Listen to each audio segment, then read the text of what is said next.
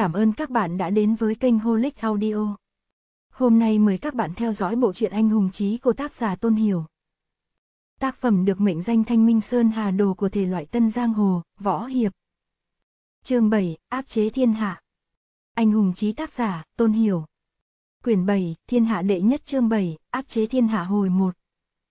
Người dịch, nhóm ngôi ban top 8. Ngũ định viễn trốn trên xà nhà, rõ ràng những chuyện bên dưới. Giờ phút này trên Hoa Sơn, thủ hạ của Giang Sung người đông thế mạnh, võ công của kiếm thần lại rất cao cường, ngay cả Phương tư Kính được xưng là kiếm vương cũng không muốn đối đầu. Trác Lăng Chiêu đề nghị lập võ lâm minh chủ, thái độ vô. Cùng cương quyết, ngũ định viễn biết võ công bản thân tiến nhanh nhưng trước đây hắn chỉ là một bộ khoái nho nhỏ, nghĩ đến việc hiện thân trong đại hội tới cả ngàn người, trong lòng khó tránh lo lắng sợ hãi. Ánh mắt Trác Lăng Chiêu sáng rực, dừng lại trên người Ninh Bất Phàm, mỉm cười nói. Ninh trưởng môn, không biết ý của ngài như thế nào? Có đồng ý với đề xuất của bồn tỏa chăng? Ninh bất phàm thân là thủ lĩnh Hoa Sơn, trong lòng cân nhắc lợi hại, đang muốn mở miệng phản đối, bỗng nghe Giang. Xung hắng giọng một tiếng, Ninh bất phàm kinh hãi vội nuốt lời vào trong, lúng túng nói. Tại hạ đã tính thoái ẩn, sao dám có ý kiến gì nữa? Trác lăng chiêu cười lạnh nói. Các hạ được xưng là thiên hạ đệ nhất, có thể nào không có chủ kiến, chẳng hay có thể nói ra. Ninh bất phàm liếc mắt nhìn qua, thấy ánh mắt hung tàn của Giang Sung đang nhìn mình chằm chằm, khóe miệng còn không ngừng cười lạnh. Y hắng giọng một tiếng, ngẩng đầu chắp tay hướng về. Các đại trưởng môn, bồi cười nói. Khó có dịp các đại trưởng môn đều tụ hội ở Hoa Sơn. Cao kiến của chư vị thế nào, bất phàm chỉ cần tuân theo là đủ. Ninh bất phàm đem khoai lang phòng tay ném sang, các đại trưởng môn lập tức biến sắc. Đám này ngươi nhìn ta ta nhìn ngươi, nếu không cần nổi ý định của Trác Lăng Chiêu, võ lâm nhất định rơi vào độc trường của Côn Luân Sơn. Mai này ngươi là đao, ta là thịt bò mặc người chặt chém, môn hộ các phái nhất định sẽ gặp chuyện không may.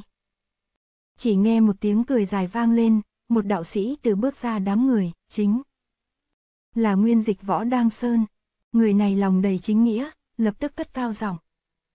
Trung nguyên võ lâm đang loạn không ngớt, vì cái hư danh thiên hạ đệ nhất, không biết có bao nhiêu người đánh đến ngươi chết ta sống. Giờ còn lập thêm ngôi vị minh chủ, không phải tự tìm phiền phức hay sao? Ta nguyên dịch đại biểu cho trường giáo võ đang chân nhân, là người đầu tiên đứng ra phản đối. Mong các hạ thu hồi đề xuất này. Những năm nay, thế lực võ đang tuy không bành trướng nhưng vẫn là đại phái khiến người giang hồ phải ngước nhìn. Lúc này Nguyên Dịch nói lời phản đối. Trác Lăng Chiêu nếu không muốn trở mặt tại đây, tất phải phải rút lại đề xuất. Các trưởng môn nghe đều âm thầm khen ngợi. Võ công của Nguyên Dịch không kém, thái cực quyền kiếm có thể nói là song tuyệt. Sư đệ vi tử tráng của người này lại hành sự dưới chướng liễu ngang thiên. Trác Lăng Chiêu nếu muốn đối phó võ đang, về cứng hay mềm đều khó cả. Y đang cân nhắc đối sách, bỗng nghe một người thở dài, nói. Đáng tiếc à đáng tiếc, nguyên dịch sư huynh võ công rất cao nhưng tầm nhìn quá hạn hẹp, khiến cho người ta tiếc hận trong lòng. Lời này nhằm mục đích giải vây cho Trác lăng chiêu. Mọi người liền nhìn sang kẻ vừa lên tiếng. Chỉ thấy người nọ ngồi ghế trưởng môn, chính là Nghiêm Tùng, trưởng môn Nga Mi. Dương Túc quan giật mình nghĩ thầm, Nga Mi ở nơi biên thùy hẻo lánh, xưa nay không tranh giành cùng thế gian, đã cấu kết với Trác Lăng Chiêu từ khi nào. Lúc này thấy Nghiêm Tùng và Giang Sung mắt đi mày lại, Dương Túc Quan lập tức hiểu ra người này bị người ta sai khiến. Nếu không thì chắc Lăng Chiêu hành sự lãnh ngạo, trưởng môn một phái nhưng Nghiêm Tùng cần gì phải giải vây. Cho y. Nguyên dịch liếc nhìn Nghiêm Tùng, thản nhiên nói. Bần đạo những năm nay hành tẩu giang hồ, tận mắt thấy người võ lâm ngươi giết ta ta giết ngươi, không vì cướp đoạt bí kíp thì cũng tranh giành địa bàn, gió tanh mưa máu vô cùng thảm thiết. Lúc này chúng ta không chỉ tận gốc, ngược lại đi tranh thêm ngôi vị võ lâm minh chủ, chẳng phải càng thêm rối loạn sao.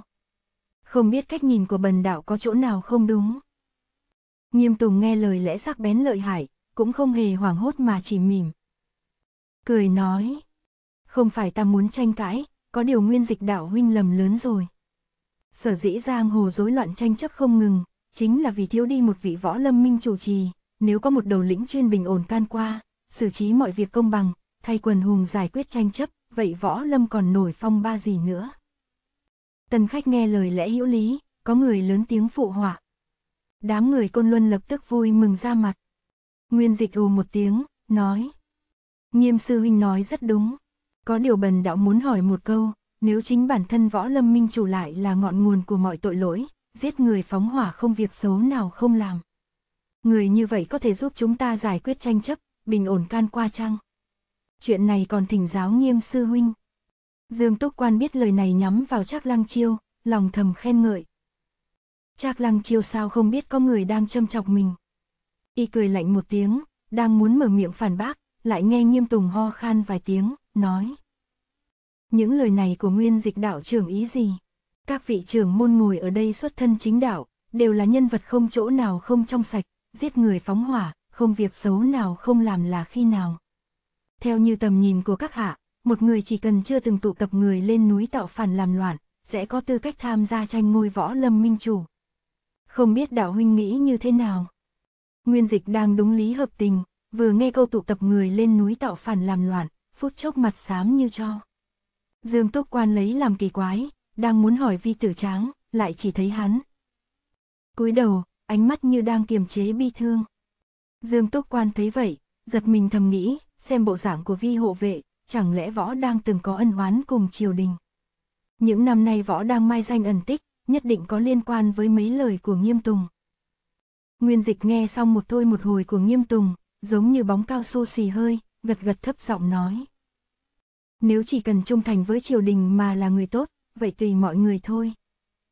Câu này ẩn ý châm chọc, tân khách trong. Sảnh đường thầm nghi hoặc, đám mệnh quan triều đình thì nhíu mày không thôi. Nghiêm Tùng thấy Nguyên Dịch đã lùi bước, liền mỉm cười quay đầu nói với Trác Lăng Chiêu. Khó được Nguyên Dịch đạo trưởng không còn dị nghị, Ninh trưởng môn lại nguyện ý theo bước chân của các vị trưởng môn. Giờ mời Trác sư huynh chủ trì cục diện, nhanh chóng đề cử võ lâm minh chủ cho. Trác Lăng Chiêu thấy người này nói vài câu đã đổi được Nguyên Dịch, trong lòng cũng bội phục, thầm tính toán, Nghiêm Tùng này miệng lưỡi thật lợi. Hải, mai này nhất định có trợ giúp rất lớn. Y nhìn về phía mọi người, mỉm cười nói. Nếu nguyên dịch đạo trưởng đã không phản đối, mời các vị trưởng môn khác cho ý kiến về chuyện này. Lúc này trong thiên hạ võ lâm, Hà Nam Thiếu Lâm, Hồ Bắc Võ Đang, Tây Vực Côn Luân, Thiểm Tây Hoa Sơn chính là bốn đại phái, bốn phái nhỏ hơn là Nga Mi, Cửu Hoa, Không Động, Điểm Thương. Trác Lăng Chiêu có ý áp đảo quần hùng, liền bắt đầu từ Điểm Thương là phái yếu nhất trong tám phái. Chỉ nghe y lạnh lùng hỏi. Chúng ta muốn lập võ lâm minh chủ, không biết ý của Hải Xuyên đạo huynh thế nào. Trưởng môn điểm thương là Hải Xuyên tử, một trong điểm thương thất hùng. Người này tầm thường hèn nhát, không làm nên đại sự. Hơn nửa số sư huynh sư đệ trong môn không coi hắn ra gì, thời điểm quan trọng như vậy, sao dám xuất đầu. Người này cười gượng vài tiếng, nói. Mọi người nói như thế nào, ta theo thế ấy. Không cần hỏi ta. Điểm thương sơn xương bá vùng vân. Quý nhưng trong môn không có cao thủ tuyệt thế, tất có chỗ không bằng các đại phái của Trung Nguyên, chỉ có thể bo bo giữ mình. Trác lăng chiêu hừ một tiếng, điềm nhiên nói. Rốt cuộc Hải Xuyên đạo trưởng đồng ý hay phản đối, cũng nên đưa ra một đáp án rõ ràng chứ. Sắc mặt Hải Xuyên tử xanh mét, nhìn về phía các sư huynh đệ trong môn mấy lần, ấp úng nói. Ta, xem như ta đồng ý là được. Đám người điểm thương sơn thấy hắn dễ dàng khuất phục dưới uy quyền của Trác Lăng Chiêu, trên mặt lộ vẻ giận dữ, có điều giờ phút này không tiện phát tác trước đám đông, chỉ có thể kêu to vài tiếng tỏ sự bất mãn. Trác Lăng Chiêu vừa lòng cười ha hà, quay sang hỏi hình trưởng lão là trưởng môn không động. Ý của hình lão sư như thế nào?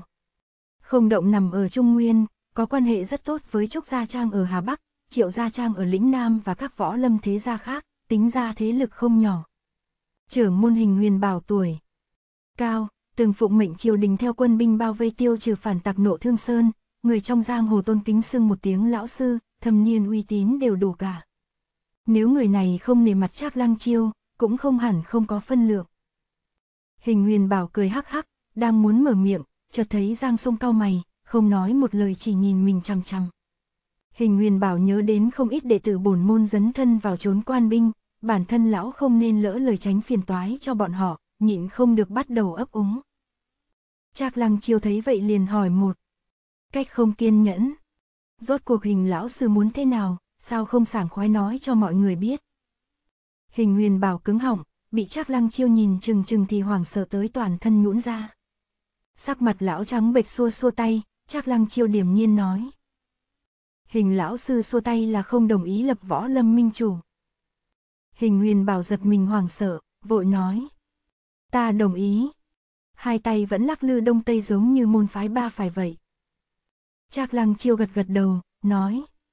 Nếu hình lão sư đã tán thành đề xuất vụng về của tại hạ. Mọi người ngồi ở đây đều là bạn tốt, cũng không thể không nể thể diện chúng ta một lần. Y lạnh lùng cười hỏi. Vậy chúng ta hỏi ý người tiếp theo. Thành y trưởng môn cửu Hoa Sơn, ý của ngài thế nào? Tiếng nói vừa dứt, cả ngàn ánh mắt liền nhìn về hướng thanh y tú sĩ. Quyền nhi đứng sau lưng sư phụ, hoảng sợ lùi vội lại sau ghế dựa. Thanh y tú sĩ đương nhiên không hề sợ hãi, chậm rãi đứng dậy rời khỏi ghế. Diễm Đình trốn trên xà nhà, vừa thấy sư phụ thì trong lòng mừng rỡ, cơ hồ muốn bật thốt lên.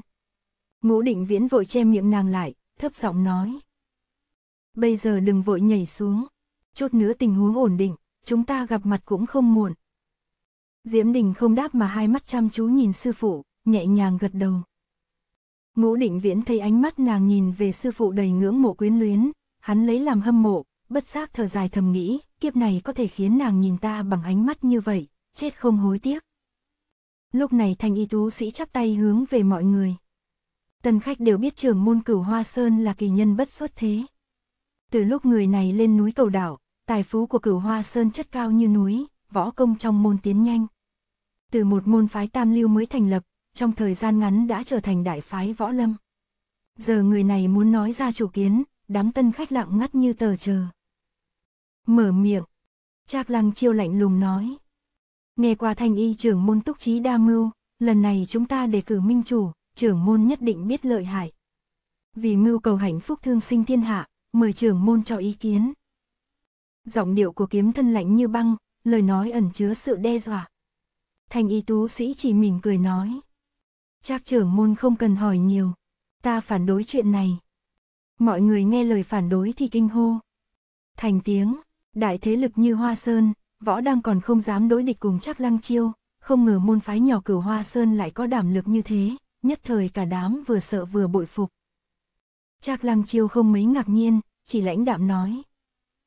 Các hạ phản đối là vì sao? Thanh y tú sĩ nói. Võ lâm nguyên bản vô sự, chỉ kẻ tầm thường mới tự chuốc phiền toái. Thiên hạ võ lâm giờ có các đại phái thiếu lâm, võ đang chủ trì cục diện đã là đủ rồi, cần gì phải lập thêm minh chủ gì nữa. Các vị thử nghĩ xem, mai này các đại môn phái đấu đá lẫn nhau, minh chủ của chúng ta đủ bản lĩnh làm được gì? Chẳng lẽ minh chủ có thể lên tung sơn chóc nã phương trượng thiếu lâm hay sao? Theo ý của ta, ngôi vị minh chủ võ lâm hữu danh vô thực, chỉ để các đại môn phái lợi dụng lý do thôn tính kẻ yếu, không hề tạo bình an cho thiên hạ, tệ phái tuyệt không tán thành chuyện này. Thành y nói vài câu đã chỉ rõ mấu chốt trong chuyện này, tân khách trong sảnh đa phần xuất thân cô môn tiểu phái hay bang hội yếu nhỏ, nhớ đến tình khó khăn ngày sau đều âm thầm gật đầu. Trác lăng chiêu cười lạnh một tiếng. Không hề để ý đến thanh y tu sĩ mà quay sang hỏi trưởng môn Nga mi. Nghiêm tiên sinh bình sinh trọng nghĩa, vì an nguy võ lâm, nhất định tiên sinh sẽ tán thành. Lúc trước nghiêm tùng nói đỡ cho Trác lăng chiêu, lúc này gật đầu cười nói. Đây là đương nhiên, chuyện này không nên chậm trễ, chúng ta mau bắt đầu đề cử minh chủ. Trác lăng chiêu nhíu mày hỏi. Cửu hoa thanh y trưởng môn không đồng ý, chúng ta sao có thể mặc kệ đây? Nghiêm tùng lắc đầu nói. Thanh y trưởng môn xưa nay luôn mang mặt nạ, nói qua nói lại cũng là thần long thấy đầu không thấy đuôi, hành tung không rõ ràng. Chúng ta muốn làm đại sự, không thể vì ba người năm ý mà buông bỏ cao kiến lập võ lâm minh chủ này. Mời trác trưởng môn lấy thiên hạ làm trọng, mau mau sướng nghị ngôi vị minh chủ cho. Đám tân khách đều khinh bỉ thầm nghĩ, nghiêm tùng ngày thường ra vẻ đạo mạo, không ngờ là loại người vô sỉ như vậy. Trác lăng chiêu mỉm cười, đang muốn lên tiếng, chợt nghe một âm thanh cười nói vang lên. Chúng ta còn cần đề sướng cái gì nữa? Trác trưởng môn được xưng là kiếm thần, võ công cái thế tài đức song toàn, phóng mắt khắp thiên hạ là thiên địa vô song, là nhân tài vạn năm hiếm thấy. Sao chúng ta không lập trác trưởng môn làm minh chủ, sau đó lại xây một miếu kiếm thần cúi đầu bái lạy? Mọi người nghĩ thế nào? Mọi người nghe giọng điệu lười biếng tràn ngập vẻ châm chọc, liền quay đầu nhìn lại, thấy người vừa lên tiếng đang ngáp ngắn ngáp dài, hai mắt nửa khép. Nửa mở, chính là Phương Tử Kính. Trong đầu chắc Lăng Chiêu chỉ biết mỗi quyền vị thanh danh, nghe không ra trong lời Phương Tử Kính có ý trào phúng. Y nghe mà vẫn tưởng được ca tụng, trong lòng mừng như điên, mỉm cười nói. Danh hiệu thần kiếm của tài hạ chỉ là do vài vị bằng hữu vui đùa đặt ra, sao có thể tưởng là thực. Phương Đại Hiệp muốn lập miếu thờ cúng cho ta, đây không phải là đặc biệt yêu ái tài hạ sao. Trong lòng vui vẻ, lập tức sửa miệng gọi Phương Tử Kính là Đại Hiệp, dường như đã quên hẳn lúc trước người này chê cười y. Mọi người ngoài mặt nín nhịn, nhưng thầm cười trộm trong lòng. Trác Lăng Chiêu khiêm tốn vài câu, sau đó nói. Trong tám đại phái có bảy phái tán thành đề xuất, chỉ có một phái phản đối. Chúng ta phải lấy an sinh làm trọng, đành xin thanh y đạo trưởng chịu chút uất ức, bây giờ chúng ta bắt đầu tiến hành lập minh chủ. Nghiêm Tùng cười ha hà, nói. Phải như thế mới đúng. Còn mời chắc trưởng môn chủ trì đại cục, chúng ta muốn tỉ thí hay là đề cử, bây giờ nên đưa ra chủ ý rõ ràng. Hai người này một tung một hứng, tìm cách dẫn dắt quần hùng. Đúng lúc này, bỗng nghe một tiếng A-di-đà Phật vang lên, lớn đến nỗi chấn động lỗ tai tân khách trong sảnh. Một người điềm nhiên lên tiếng. Trác trưởng môn, hình như ngươi đã quên tung sơn thiếu lâm còn ở chỗ này, sao có thể bỏ mặc không hỏi chủ kiến. Mọi người không cần nhìn cũng biết người lên tiếng là thủ tọa La Hán đường thiếu lâm, linh định đại sư. Trác lăng chiêu ồ một tiếng, áy náy cười nói. Thật sự rất áy náy, ta quên võ lâm còn có thiếu lâm tự, không biết đại sư có cao kiến gì chăng? Thiếu lâm là môn phái đệ nhất thiên hạ, Trác lăng chiêu sao có thể quên bén không hỏi. Nhất định là có ý khinh nhờn. Linh định áp chế cơn giận trong lòng, trầm giọng nói. Chuyện lập minh chủ chưa thông báo lại với phương trưởng chúng ta, quá gấp gáp vội vàng. Lão nạp không đồng ý, tạm gác lại mai này nghị luận sau. Mắt thấy chắc lăng chiêu vô lễ như vậy. Linh định không muốn nói thêm, quay sang chắp tay nói với Ninh bất phàm.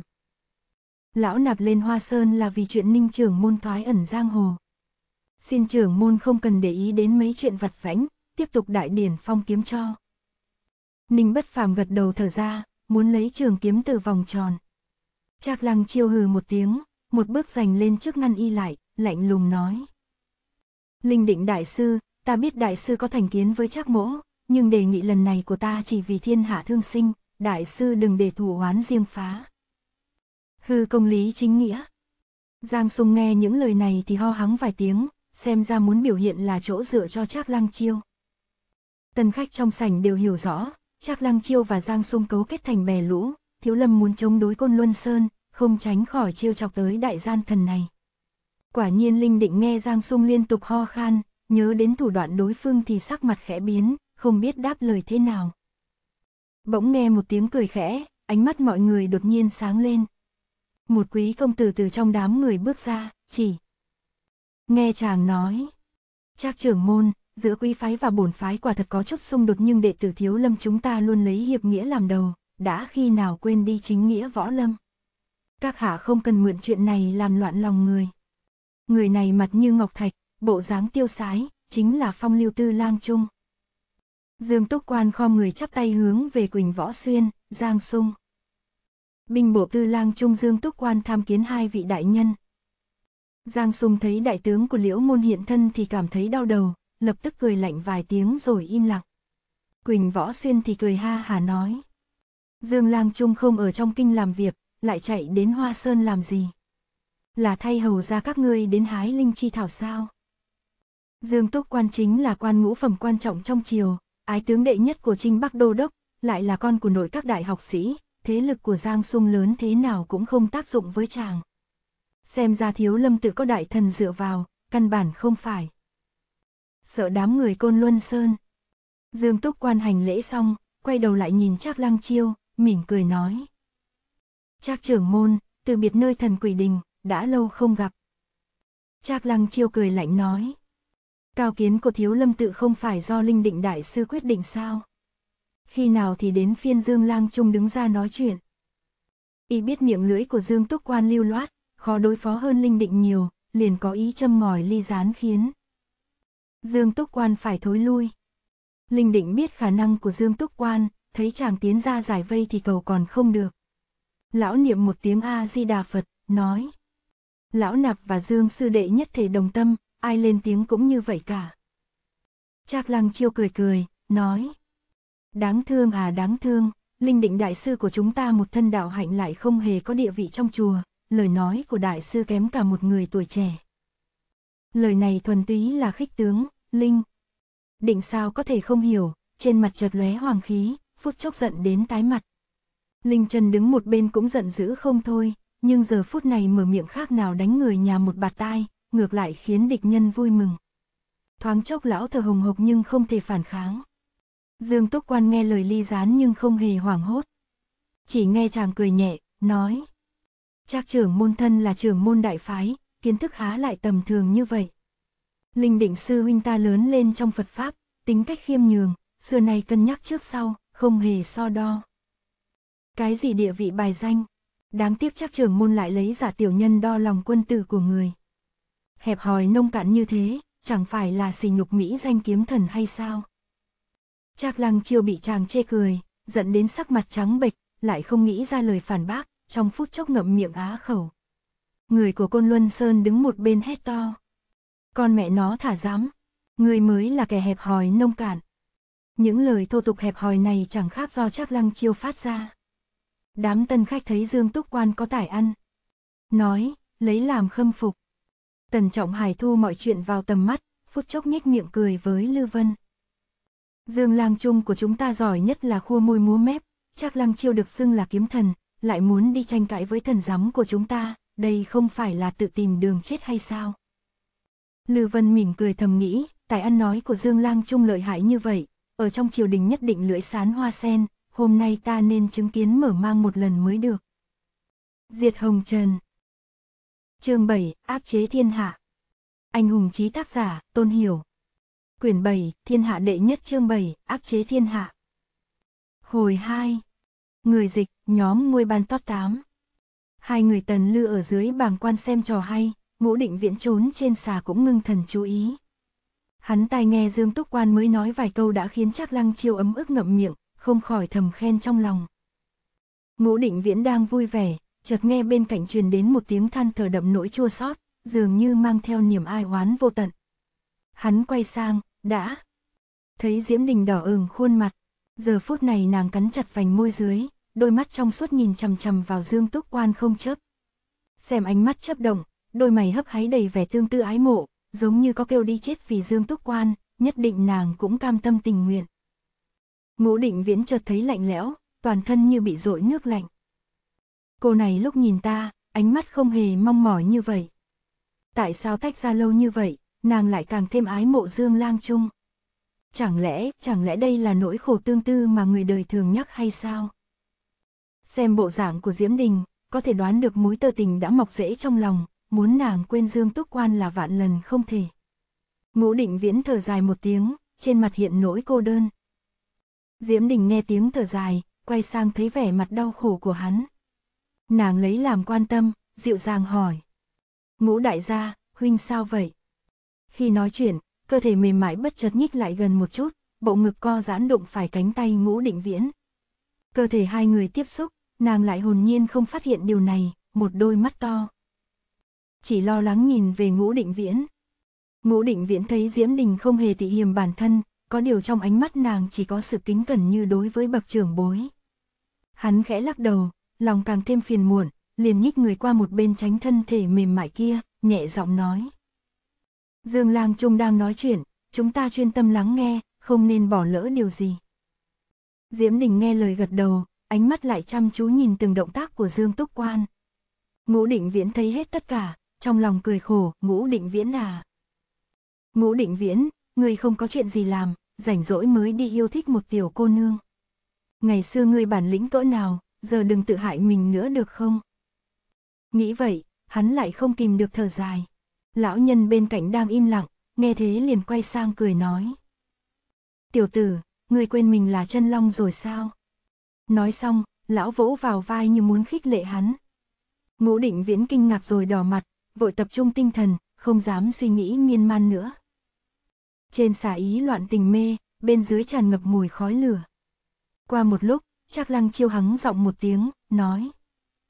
Dù là ai đại diện cho Thiếu Lâm, hôm nay số mệnh thiên hạ đều do người của Tung Sơn quyết định. Không biết Dương Lang trung nghiêng về bên nào. Đám tân khách dùng mình, đều dương mắt đợi câu trả lời của Dương Túc Quan. Chỉ thấy Dương Túc Quan vỗ tay cười nói.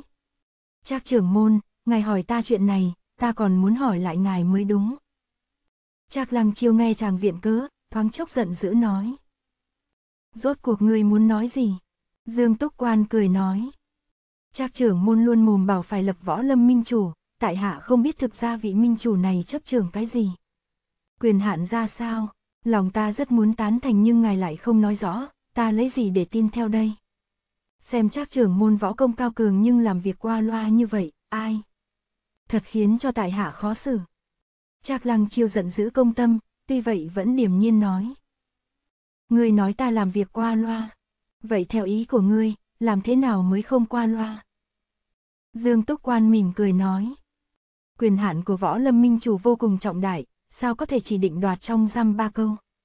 Theo ý của tại hạ, chỉ bằng đầu tiên viết ra một quyền võ lâm minh chủ quyền trường điển luật, phân thành bốn chương gồm chấp trường bổ nhiệm miễn nhiệm và thường phạt. Sau khi viết xong, trường lão các phái sẽ thẩm duyệt qua một lần. Chờ các bên đều nhất trí đồng ý, chúng ta lập tức triệu tập quần hùng thiên hạ ra quyết định cuối cùng.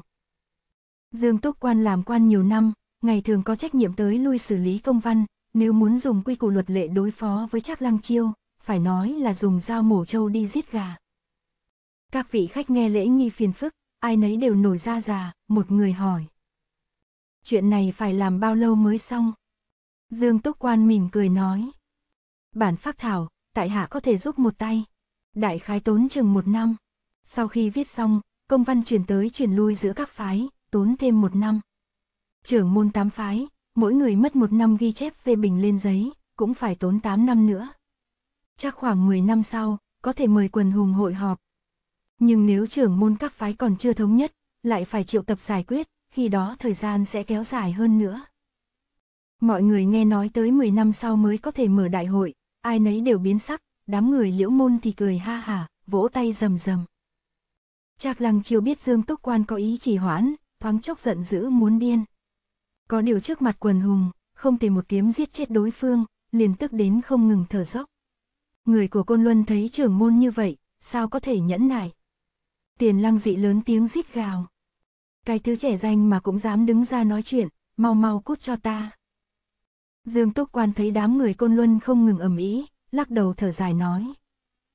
Trác trưởng môn, môn hạ của ngài muốn ta cút xuống núi, ngài nói thế nào? Đây, chẳng lẽ thật muốn thiếu lâm rời khỏi võ lâm? Nói thế nào, chuyện thiên hạ không qua được một chữ lý. Võ công của các hạ tuy cao nhưng lời ăn tiếng nói của môn nhân quy phái lại không thể phục chúng. Dù ngài có làm võ lâm minh chủ, cũng chỉ là vô dụng. Mọi người nghe lời lẽ không hề có một chữ thô tục, lại có thể khiến môn nhân côn luân bừng bừng tức giận, ai nấy đều thầm bội phục trong lòng. Linh chân cười to nói. Nói rất hay, kiếm thần võ công đệ nhất thiên hạ, nhân phẩm cũng là thiên hạ đệ nhất giám. Những lời này, Phương Tử Kính đã dùng bẫn cợt cháp lăng chiêu, bây giờ Linh chân lại mượn dùng thêm một lần. Tiễn lăng dị cuồng nộ công tâm, mắng. Cái tên lừa chọc, không đánh giám cũng không ai bảo ngươi bị câm. Linh chân cự lại. Mẹ ngươi mới đánh giám. Hạng không bằng heo chó cũng dám đứng ở đây la lối sao. Hai người ồn ào mắng chửi nhau. Tiền lăng dị mở miệng toàn những câu trợ. Bố thì không nói. Linh chân là một trong tứ đại kim cương mà cũng ăn nói thô tục như phường vô lại. Đám tân khách nghe thì kinh ngạc đến nói không nên lời. Bỗng nghe một thanh âm kiều mị vang lên. Đừng ồn ào nữa, Dương Lang Trung còn chưa nói xong, các ngươi cãi cọ làm gì? Tiền lăng dị nghe thanh âm dịu dàng rúng động tâm can, vội nhìn lại về hướng đó. Thấy một nữ nhân tà mị đứng bên sảnh, chính là yêu nữ vô sỉ Hồ Mị Nhi. Vẻ mặt thị đầy ái mộ cùng quyến luyến, hai mắt tỏa sáng nhìn chằm chằm vào. Dương Túc Quan, Diễm Đình trốn trên xà nhà, mắt thấy Hồ Mị Nhi tình tứ nhìn Dương Túc Quan, thù mới hận cũ tất cả bốc lên. Nàng nhớ đến cảnh sư thúc chết thảm, không khỏi oán hận nói. Lại là à yêu nữ vô xì đó. Ngũ định viễn thấy vẻ mặt thống hận của nàng, trong lòng thầm ngủ, ta nên nghĩ biện pháp giúp cô này diệt trừ Hồ Mị Nhi báo thù. Hồ Mị Nhi thấy Dương Túc Quan nhìn về mình, liền dịu dàng nói. Dương Lang Trung, hai ta đã lâu không gặp, nô gia rất nhớ chàng. Mọi người biết Hồ Mỹ Nhi là nhân mã của Giang Sung, nghe thì nói thế thì ngạc nhiên. Lại không thấy Giang Sung có biểu hiện gì, chắc cũng biết Hồ Mỹ tính tình phóng đãng, ngay cả y cũng quản không nổi.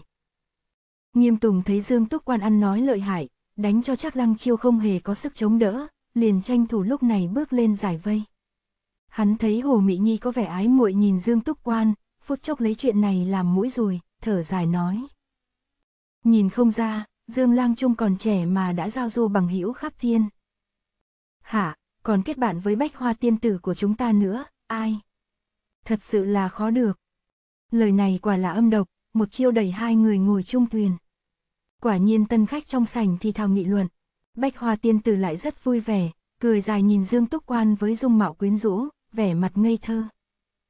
Hồ Mỹ Nhi liếc mắt đưa tình cho Dương Túc Quan, bốn người liễu môn chứng kiến thì lộ thần thái khác nhau. Ngũ định viễn mày nhíu mặt nhăn, Tần Trọng Hải cười mắng không ngớt, Lư Vân thì ngơ ngác không hiểu. Dương Túc Quan lại là tay ra đời trong chốn tình trường. Chàng hắng giọng một tiếng, lập tức ổn định trở. Lại, Trác Lăng chiêu điềm nhiên nói. Dương Lang Trung, đừng bày vẻ quan trường ở đây nữa. Người trong giang hồ một lời nặng ngàn vàng. Đã nói là làm, có tán thành chuyện lập minh chủ võ lâm hay không, mau một lời quyết định đi.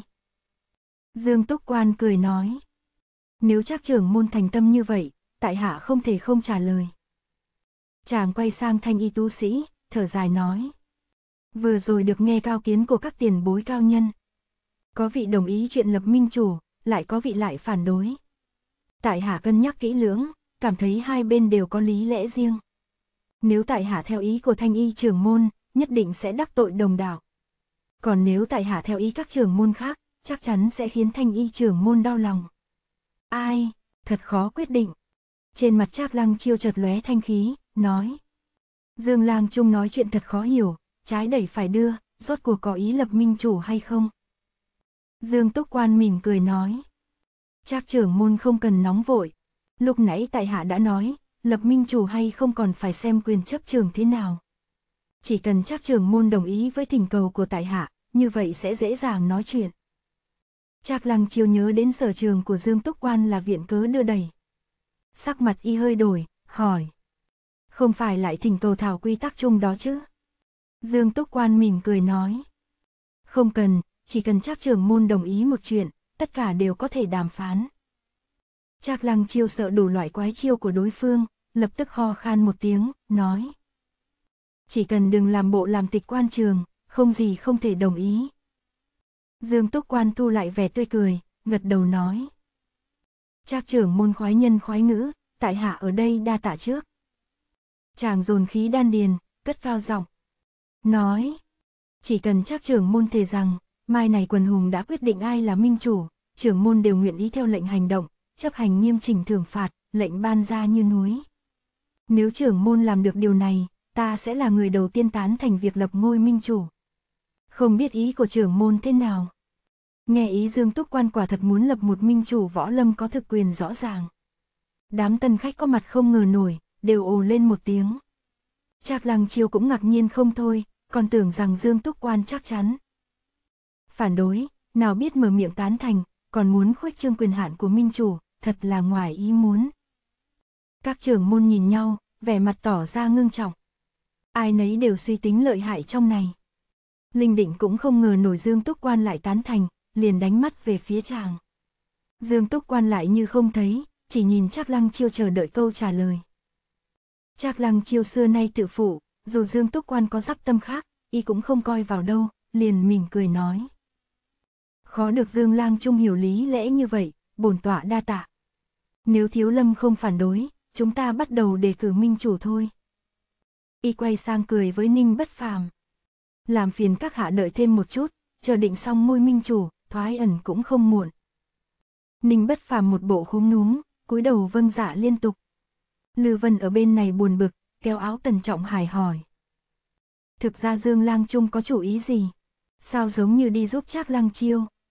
Vậy, Tần Trọng Hải cười hắc hắc, nói.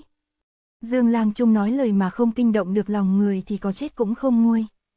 Ngày thường hắn luôn chọn đường hiểm, chỉ mong đừng làm hỏng chuyện. Tần Trọng Hải hiểu rõ trong lòng. Xem xét quần hùng dự hội hôm nay, có thực lực tranh ngôi võ lâm minh chủ này, ngoài cửu châu kiếm vương ra, chỉ còn mấy người linh định, Trác Lăng Chiêu, Ninh Bất Phàm. Ninh Bất Phàm mang ý thoái ẩn, sư phụ của y sớm coi thường hư danh, không màng thế sự. Như vậy chỉ, còn Linh Định và Trác Lăng Chiêu là có tâm tranh chấp. Chỉ cần Linh Định có thể đánh bại kiếm thần, từ nay Tung Sơn Thiếu Lâm có thể ngồi lại ngôi vị minh chủ võ lâm. Dương Túc Quan giống như tràn đầy nhiệt huyết, thật ra là đang tính toán cho sư môn. Lư Vân hiểu được nguyên do, kinh hãi thầm nghĩ, kế sách này của Dương Lang Trung quả là hiểm. Võ công của Trác Lăng Chiêu rất cao, không chắc Linh Định Đại Sư sẽ tất thắng. Nếu Thiếu Lâm thua trận này, chẳng lẽ để Võ Lâm rơi vào miệng cọp hay sao? Có điều hắn từng thấy qua cách hành sự của Dương Túc Quan, người này luôn. Tính trước làm sao, nhìn bộ dạng tràn đầy tự tin kia, nhất định đã có mưu kế, tuyệt không có chuyện giúp không cho Trác Lăng Chiêu. Mọi người đang châu đầu ghé tai bàn luận, trong phái điểm thương bước ra một người. Người này mặc đạo bào, bộ dạng thanh kiện, quần hùng nhận ra là Ngọc Xuyên Tử trong điểm thương thất hùng. Chỉ nghe hắn nói. Mọi người nói nhiều như vậy, tất cả đều có lý riêng nhưng chín người mười ý, không biết chọn ra võ lâm minh chủ thế nào. Chẳng lẽ phải dùng đến hình thức rút thăm? Trác Lăng Chiêu cười lạnh nói. Nếu là võ lâm minh chủ, nhất định phải có võ công phục chúng, chúng ta không ngại thì ra tay tỉ thí. Lời này vừa ra, toàn trường trở nên hưng phấn, phút chốc ai nấy đều kêu to. Luận võ đoạt soái, luận võ đoạt soái. Nguyên dịch nghe mọi người hò hét, chỉ thở dài nói. Nếu thật sự muốn luận võ, khách có mặt ở đây tới cả hơn ngàn vị. Chỉ sợ bị thương hơn phân nửa, sao có thể được. Hình huyền bảo nói. Nguyên dịch sư huynh lo lắng cũng đúng, để tránh sát thương quá nhiều, các phái cử một người ra tỉ thí là tốt nhất. Linh định dù không muốn lập minh chủ nhưng lửa cháy đến nơi, không còn cách nào ngăn chặn nữa. Lão chắp tay, thở dài nói. A-di-đà Phật, trời cao có đức hiếu sinh. Các vị muốn tỉ thí thế nào cũng được, quan trọng là không thể sát sinh. Mọi người ngươi một lời ta một câu, không ngừng tranh luận. Ai cũng có ý kiến riêng. Ninh bất phàm thấy thì thở. Giải khuyên. Võ lâm minh chủ, thiên hạ đệ nhất. Chư vị không biết loại hư danh đó nặng gánh đến thế nào sao? Tại hạ xin khuyên một câu, quên mấy thứ phiền não đó đi là tốt nhất. Những người có dã tâm nghe lời này, đều cười lạnh nghĩ thầm, Ninh bất phàm quả là lòng giả dạ hẹp hòi. Hắn muốn thoái ẩn, còn không buông tay để người khác đảm đương ngôi vị võ lâm đệ nhất. Trong thiên hạ nào có chuyện tiện nghi như vậy? Mắt thấy mọi người xôn xao, không tìm được cách tỉ thí thỏa đáng, chợt nghe. Một thanh âm vang lên.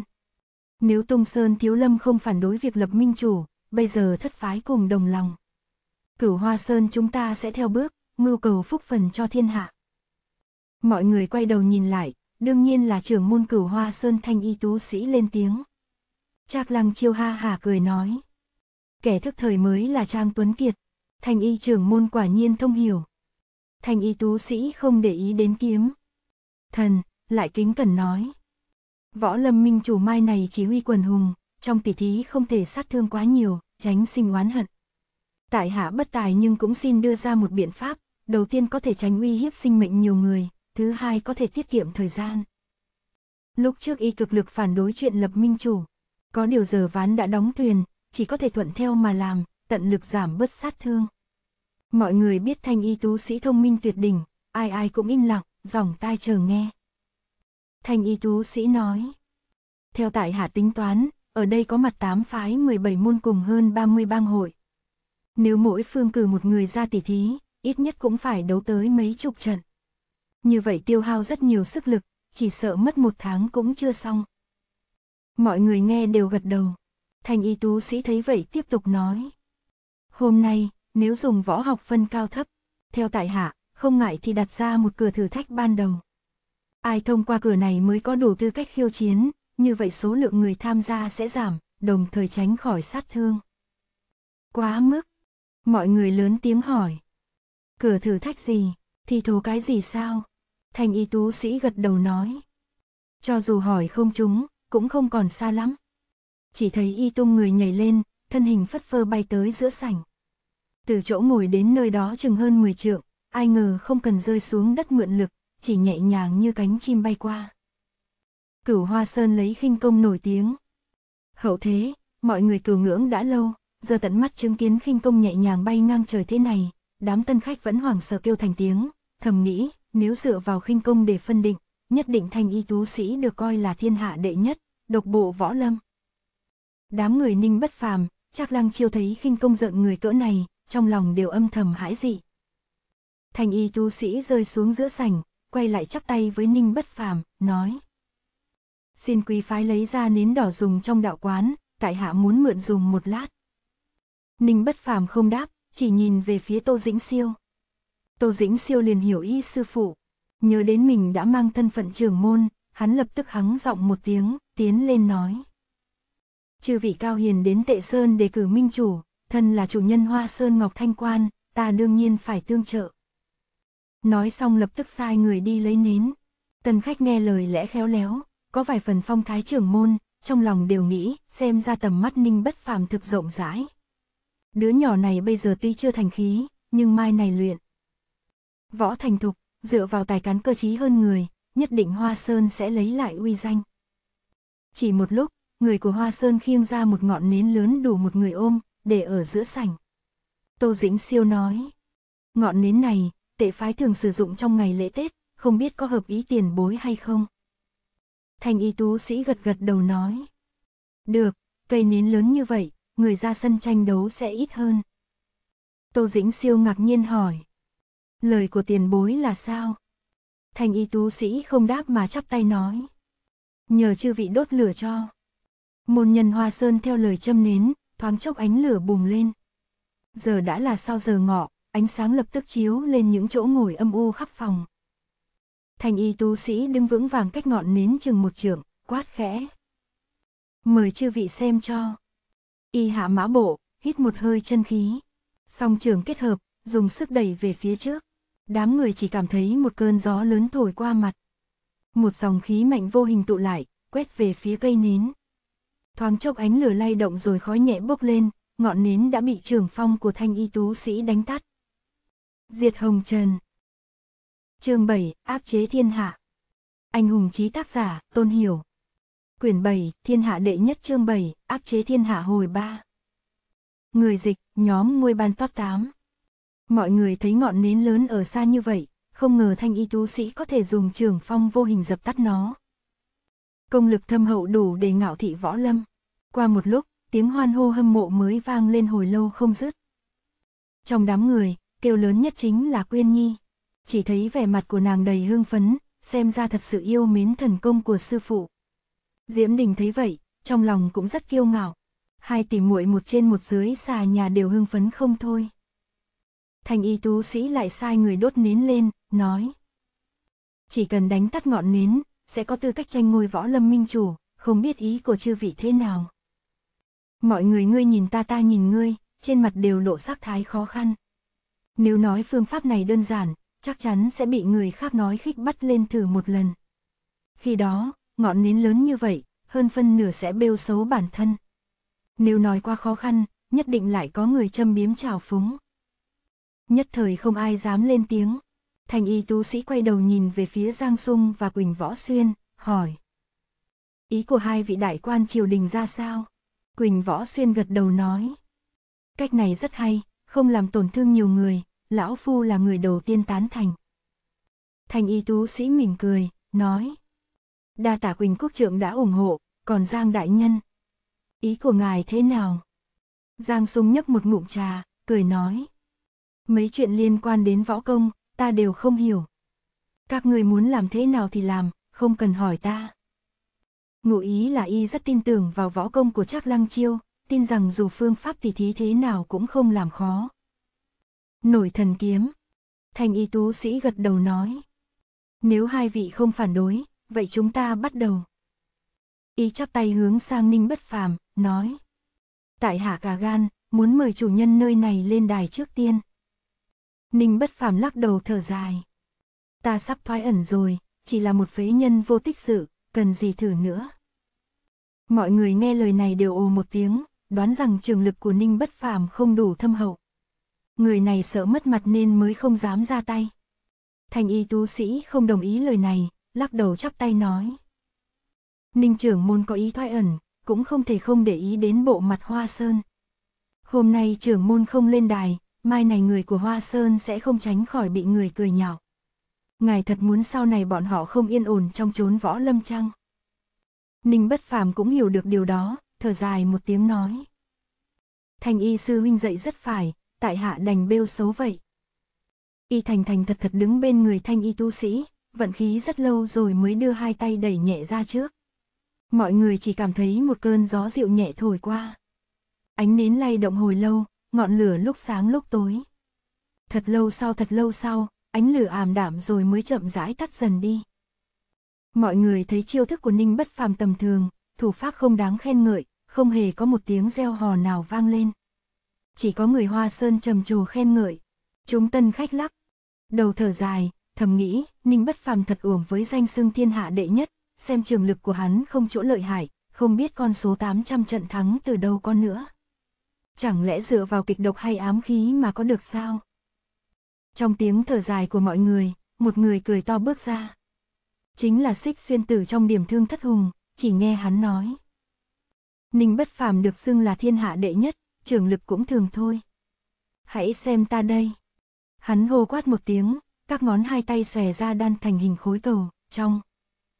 Lòng bàn tay bỗng có tiếng sấm nổ mạnh. Mọi người ngạc nhiên lẫn sợ hãi, thầm nghĩ, điểm thương xương hùng vùng Tây Nam, thật sự là có bản lĩnh. Xích xuyên tử dùng sức đẩy hai tay ra, hét lớn một tiếng.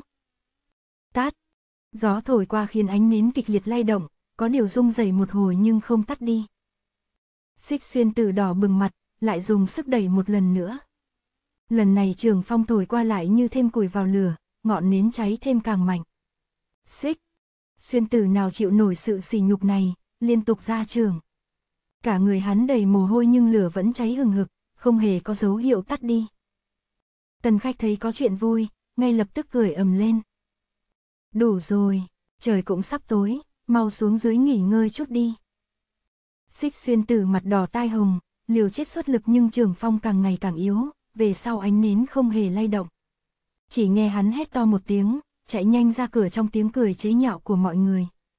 Nhìn vẻ mặt đầy nước mắt của hắn, xem ra vô cùng xấu hổ. Lúc này có rất nhiều người bước lên thử thách, không ít kẻ tự phụ trường lực của mình dũng mãnh, có điều sau khi vận kình xuất trường thì hầu hết không đủ lực, thấy ánh nến không hề động mới biết bản thân mình chỉ là hạng ếch ngồi đáy giếng, đành xấu hổ lùi ra sau. Nửa canh giờ trôi qua, hơn trăm người bước lên nhưng không một ai đủ công lực, lúc này đám tân khách mới biết khó khăn trong thử thách này, lập tức thu hồi lại sự tự đại cuồng vọng khi trước. Thành y tu sĩ thấy qua một thời gian không có ai dám lên, liền hỏi. Còn người nào muốn lên thí luyện nữa không? Dương Túc Quan ngồi trong đám người, lúc này quay sang hỏi vi tử tráng. Vi hộ vệ không lên thử một lần sao? Vi tử tráng tự nhủ công lực bản thân cũng không đến nỗi nào, muốn lên nhưng sợ chịu không nổi sự chê cười của mọi người. Hắn cười khổ một tiếng rồi lắc lắc đầu. Mọi người đang im lặng, chợt thấy trong côn luân sơn nhảy ra một cao thủ, quát. Ta lên đây. Mọi người ngẩng đầu nhìn xem, thì ra là kiếm hàn kim lăng xương. Người này bước ra giữa đài, đà tọa một hồi lâu mới chậm rãi đứng lên. Chỉ thấy y hít vào thở ra vài nhịp, song trường dơ lên dùng sức đẩy về phía trước. Trong một thoáng, một cơn gió lạnh bút thổi qua, ánh nến kia chỉ lay động một chút, không hề có dấu hiệu tắt đi. Đám tân khách đa phần mang lòng bạc bẽo, có bao giờ nhìn thấy điểm tốt của người khác. Mắt thấy Kim Lăng Sương mất mặt, cả đám muốn thốt ra câu chế giễu. Đúng lúc này thấy quanh ngọn nến bị bao phủ bởi một tầng sương lạnh, ánh lửa sáng tối không ngừng, cuối cùng cũng tắt đi. Trường này dựa vào nội lực âm hàn để giành chiến thắng, không phải là do lực trường phong. Kim Lăng Sương thở ra một hơi dài, cúi người với Trác Lăng Chiêu rồi quay lại chỗ ngồi. Thành y tú sĩ nhíu mày nói. Thế này thì nguy rồi, khắp thiên hạ chỉ có ba người thông qua cửa này. Chẳng lẽ trốn võ lâm không còn tuấn kiệt nữa sao? Lại nghe một người quát lên. To gan, có tung sơn thiếu lâm tự ở đây, dám nói thế sao? Một tiếng thét truyền qua, tiếp theo một cơn gió mạnh đánh tới. Mọi người chỉ cảm thấy gió rát như đao cắt qua mặt, ánh nến không lay động mà lập tức tắt đi. Mọi người hoảng sợ nhìn lại, thấy người ra tay có thân hình to béo, vẻ mặt dữ tợn, chính là hòa thượng Linh chân. Chỉ nghe lão quát, Thắp nến lên mau, sư huynh của ta muốn thử sức một lần. Môn nhân hoa sơn hoảng sợ, vội vàng thắp nến lên chờ Linh Định ra tay. Trong ánh nến bập bùng, chỉ thấy một lão tăng chậm rãi bước ra, chính là thủ tọa. Là hán đường thiếu lâm, hòa thượng Linh Định được giang hồ tặng danh thánh tăng, trong đặt ma viện có tam bảo thánh, trước la hán đường có tứ kim cương. Võ công của Linh Định sánh gần bằng thiên tuyệt tăng, ngang hàng với phương trượng linh trí. Mọi người không khỏi tính trọng, im lặng muốn xem bản lĩnh của lão. Linh Định đứng trước ngọn nến lớn, chắp tay nói. Không phải lão nạp có ý tranh đua, chỉ vì trên lưng mang danh đệ tử thiếu lâm, không thể cô phụ võ danh ngàn năm. Chỉ thấy Linh Định khí tùy ý chuyển, hai. Chân giang ra, không hề thấy hít thở vận khí, đơn thủ đẩy ra. Một cơn gió mạnh thổi tới, tân khách bị gió mạnh quét qua, hoặc là đôi chân đong đưa không yên, hoặc là trang phục bay phấp phới. Tất cả đều hoảng hốt kêu to. Trưởng phong tựa như cơn lốc mãnh liệt thốc tới. Mọi người đều tìm chỗ dựa tránh bị ngã. Các nữ hào khách nhanh chóng đè váy, sợ lộ ra cảnh xuân sắc phía dưới. Chợt nghe ầm một tiếng, không ngờ ngọn nến lớn đã bị trường phong đẩy ngã, ánh nến cũng tắt hẳn. Mọi người biến sắc, hoảng sợ run rẩy đến độ không người nào mở miệng. Qua một lúc thật lâu, rốt cuộc hàng trăm tiếng. Gieo hò như vỡ hòa, truyền ra một quãng xa từ trong đạo quán. Những hương dân đang cày ruộng hoặc canh cửi xa xa, nghe tiếng hoan hô như sấm dậy, nghĩ đến mùa xuân tới, người ra cửa làm việc đều về nhà lấy dù, trên đường người tới lui nối liền không dứt. Ninh bất phàm hoảng sợ khen ngợi. Thiếu lâm đứng đầu võ lâm, quả nhiên danh bất hư truyền, xem ra ta chắc chắn phải buông cái hư danh thiên hạ đệ nhất rồi. Thành y tú sĩ nhìn y nói. Ninh trưởng môn còn chưa dùng hết. Sức, cần gì phải khách khí. Qua một lúc, mới có một đệ tử Hoa Sơn bước lên nâng ngọn nến lớn, lại thắp nến sáng lên một lần nữa. Thành y tú sĩ quay sang hỏi mọi người. Thiếu lâm đại sư có tư cách tham gia vòng sau, không biết còn người nào muốn lên thử không? Mắt thấy không ai nguyện ý bước lên, thanh y tú sĩ bước đến chỗ ngồi của Phương Tử Kính, hỏi. Không biết Phương Đại Hiệp có muốn lên một lần không? Thanh y tú sĩ nhìn sang y, nói. Ninh trưởng môn chưa dùng hết sức, cần gì phải khách khí. Qua một lúc, mới có một đệ tử Hoa Sơn bước lên nâng ngọn nến dậy, lại thắp sáng lên một lần nữa. Thanh y tú sĩ quay sang hỏi mọi người. Thiếu lâm đại sư đủ tư cách tham gia vòng sau, không biết còn ai muốn lên thử. Mắt thấy không người nào nguyện ý bước lên, thanh y tú sĩ bước đến chỗ ngồi của Phương Tử Kính, hỏi. Không biết Phương Đại Hiệp có muốn lên một lần. Phương Tử Kính không hề có ý đứng dậy, chỉ lắc đầu nói. Ngọn nến là chết, kẻ địch là sống.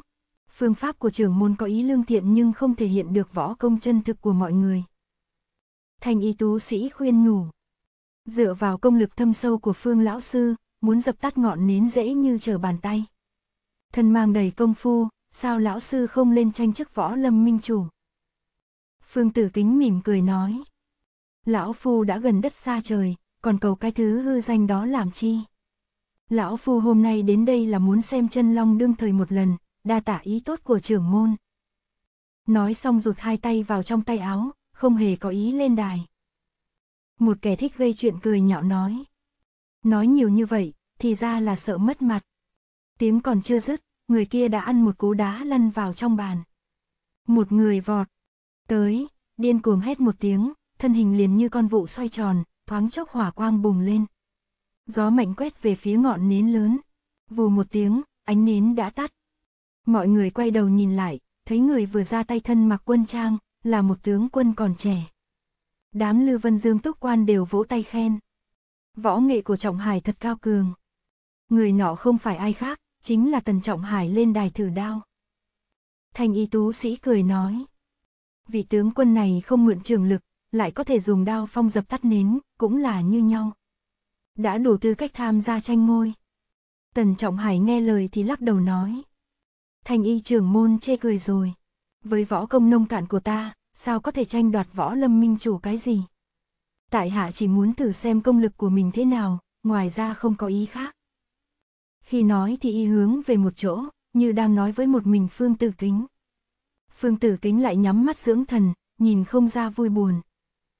Trong số tân khách, chỉ có Lưu Vân hiểu được hành động của Tần Trọng Hải. Do y thấy người khác cười nhạo sư phụ, khó nén nổi nên mới bước lên thử đao.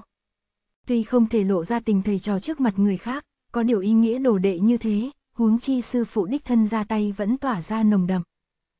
Thanh y tú sĩ cười nói. Cho dù thế nào, các hạ vẫn đủ tư cách tham gia trận tranh hùng về sau. Y quay đầu hỏi tiếp. Còn người nào muốn lên thử sức? Lập tức nghe một người nói. Nếu Trọng Hải đã lên, ta cũng thử một lần xem sao. Người nọ bộ dạng anh Tuấn, chính là phong lưu tư lang trung dương túc quan. Chàng vừa bước ra, đã nghe Hồ Mỹ Nhi cười nói. Dương lang trung giỏi lắm, gia nô ở đây vỗ tay cổ vũ cho chàng. Dương túc quan ho khẽ một tiếng, thầm nghĩ, nếu nữ nhân này còn tiếp tục dây dưa không buông, người khác nhất định nghĩ rằng ta có gian tình với à. Sau này phải tìm cách vạch định rõ ràng mới. Được. Chàng không mở miệng nói chuyện, bước lên rút trường kiếm bên hông ra. Một kiếm lập tức biến ảo thành bảy kiếm, bảy kiếm lay động một chút, sau đó lại biến ảo thành 49 điểm hàn tinh. Chính là tuyệt chiêu nổi danh trong bồ đề tam thập tam thiên kiếm. Trác lăng chiêu cười nói. Hay cho một chiêu niết bàn vãn sinh. Mọi người nghe thì kinh ngạc hoảng sợ, đây chính là chiêu nổi danh nhất trong vòng 30 năm trở lại đây của thiếu lâm tự, nghe danh đã lâu nhưng đây là... Lần đầu tận mắt trông thấy, chỉ nghe một tiếng nhắc nhở vang lên, 343 điểm hàn tinh bắn thẳng về phía trước. Soạt một tiếng, ánh nến bị chia thành vô số đốm lửa nhỏ, từ từ tắt đi. Mọi người ầm ĩ reo hò, thoáng chốc tiếng trầm trồ khen ngợi vang khắp sảnh. Hồ Mỹ Nhi còn nũng nịu kêu to, đúng là oanh hót yến kêu không ngớt. Thanh y tú sĩ gật đầu nói. Thiếu lâm tự có ba người thông qua thử thách, không thẹn với Mỹ danh đại phái đệ nhất võ lâm. Sau đó y quay đầu nhìn mọi người, lại. Hỏi. Còn vị bằng hữu nào muốn bước lên thử sức? Bỗng nghe một người quát. Tránh ra. Tiếng chưa dứt, một dòng khí mạnh thốc nhanh về phía trước, thanh y tú sĩ lộ vẻ kinh ngạc, hai chân khẽ dùng lực rồi cơ thể xoay tròn bay lên cao, liền tránh khỏi dòng khí hung mãnh kia. Mọi người đang không biết chuyện gì xảy ra, chỉ nghe ngọn nến phát ra soạt một tiếng, lập tức bị trẻ làm hai nửa đổ trên đất. Trong số các trưởng môn vẫn còn người chưa. Lên thử trường lực, mắt thấy ngọn nến đã bị hủy thì biến sắc không thôi. Mọi người không biết là ai ra tay, đều lấy làm kinh ngạc. Đã thấy chắc lăng chiêu bước ra giữa đài, ngạo nghễ nói. Nghe hoài bực mình đã lâu, thật khiến người ta nhàm chán. Bây giờ bổn tọa muốn động gân động cốt, lưu thông huyết mạch, người nào muốn lên chỉ giáo. Mọi người lạnh lẽo toàn thân, ngọn nến bị gãy làm đôi, ra là do chắc lăng chiêu ra tay, có điều thủ pháp nhanh tuyệt, lại không ai thấy y xuất kiếm ra sao. Thành y tú sĩ lắc đầu nói. Các hạ sao nóng vội như vậy, còn chưa định hết thứ tự tranh hùng, quy củ cũng chưa định ra. Trác trưởng môn có thể nào tự tiện tìm người tư đấu. Ra một chiêu lúc nãy, chắc lăng chiêu có ý muốn áp đảo cao thủ có mặt tại đây, giờ mới cười lạnh nói. Lão huynh dài dòng quá, xem ra nói hoài cũng mệt rồi phải không? Dù sao ta và ngươi đều đủ tư cách tỉ thí, chỉ bằng mở trước một hồi sát giới đi. Thành y tú sĩ hừ một tiếng, hỏi. Các hạ muốn ra tay với ta? Trác lăng chiêu lạnh lùng trả lời. Ngươi không có vài chiêu phòng thân, sao dám lôi thôi nửa ngày ở đây? Muốn đánh thì đánh, không đánh thì lui ra. Thành y tú sĩ lắc đầu nói. Trác trưởng môn sao có thể nói vậy? Ở đây có rất nhiều anh hùng đã qua ải, chẳng lẽ ngươi muốn đánh ngã tất cả để bước qua hay sao? Chức trách của minh chủ là ngăn chặn can qua. Ngươi hại người như vậy, mai này còn tư cách hòa giải phân tranh thế nào? Mọi người nghe lời này đều gật đầu. Các cao thủ ở đây dựa vào tuyệt học tranh môi minh chủ võ lâm. Nếu không cẩn thận một chút, sẽ bị kẻ tâm thuật bất chính cướp mất ngôi vị. Cao thủ chính đạo không muốn nghe theo lời sai khiến của tặc nhân, nghĩ đến đây đều thầm lo lắng. Trác lăng chiêu điềm nhiên nói. Ta không muốn sát thương nhiều người, có điều kẻ vọng tưởng đánh bại bổn tỏa không thể không chết. Thành y tú sĩ lắc đầu nói. Các hạ nói lời quá nặng nề rồi. Tại hạ không mang tâm tranh đoạt đệ nhất thiên. Hạ hay võ lâm minh chủ gì cả. Có điều hành động lời nói của ngươi lại ngang ngược như vậy, thật khó mà khiến cho người ta khâm phục. Trác lăng chiêu nhắm mắt lại, thản nhiên nói. Muốn đánh thì đánh, bằng không bất xà môn đi. Nơi này không phải chỗ để kẻ yếu hèn đặt chân. Mọi người thấy y cuồng vọng đến vậy, trong lòng vô cùng bất mãn. Bỗng nghe một tiếng hét to chiến, sau đó là tiếng nổ lớn vang lên, gạch vỡ bay tán loạn. Một hòa thượng to béo đẩy. Khách qua một bên, bước ra cười lạnh nói. Họ chắc kia, ngươi còn thời gian gây phiền phức cho người khác sao? Ông nội ngươi chờ ở đây lâu lắm rồi. chương 7, áp chế thiên hạ hồi 4. Trác lăng chiêu nghe lời lẽ khinh thường, tức khắc quay đầu. Chỉ thấy người lên tiếng đầu chọc không hề có sợi. Tóc nào, chính là Linh chân Ra là hòa thượng này nghe Trác lăng chiêu nói chuyện cuồng vọng, dưới cơn tức giận đã dụng lực chân mạnh mẽ đạp nát sàn đá, sau đó bước ra khiêu chiến.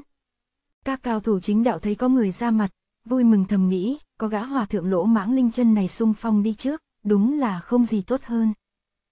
Linh chân cười lạnh nói. Họ chắc kia, mỗi lần ông ngươi muốn dạy bảo, ngươi đều lo chạy trối chết. Lên núi Côn Luân kêu ngươi ra, bàn chân ngươi lại giống pha dầu, chạy còn nhanh hơn so với đám môn nhân đệ tử. Đến đỉnh thần quỷ đánh ngươi, ngươi lại còn. Ba chân bốn càng chạy nhanh hơn nữa, giống như con rùa rụt cổ mọc thêm cánh vậy. Rốt cuộc có gan chết tiếp chiêu của cha ngươi không vậy? Mọi người nghe lời lẽ nói chắc lăng chiêu đến mức không ra gì, phút chốc nửa tin nửa ngờ. Trác lăng chiêu giận đến sắc mặt trắng bệch, y áp chế nộ khí, nói. Người muốn đánh thì lại đây. Chúng ta không ngại phân định bản lĩnh trước mặt đồng đạo thiên hạ, xem ai mạnh ai yếu. Linh chân cười ha hả nói. Người muốn mượn cơ hội này để ra oai chăng? Ta nói cho ngươi hay, hôm nay ông ngươi nhất định sẽ đánh ngươi đến mặt mũi bầm dập, cho tiểu tử ngươi nổi danh một lần. Trác lăng chiêu cố ý phô diễn bản lĩnh trước mặt thiên hạ, nghe Linh chân mở lời khiêu chiến, chính là cầu còn không được. Linh chân cũng có ý uy chấn quần hùng.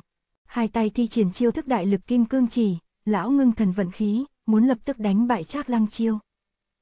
Linh Trân tuy là người thô lỗ nhưng ngoại môn ngạnh công cao cường, quyền dùng la hán thiết quyền, trưởng là Đại kim cương trưởng, chán húc thiên ngạch liệt kim thạch, chảo là mãnh chảo toái ngàn sơn, trên dưới toàn thân tổng cộng luyện được 13 tuyệt kỹ.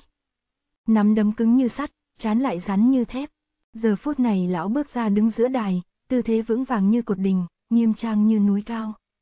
Bất luận ai thấy cũng phải sợ hãi ba phần. Đối đầu với kẻ địch mạnh, chắc lăng chiêu lại không thèm một cái liếc mắt. Y quay sang Ninh bất phàm, điềm nhiên nói.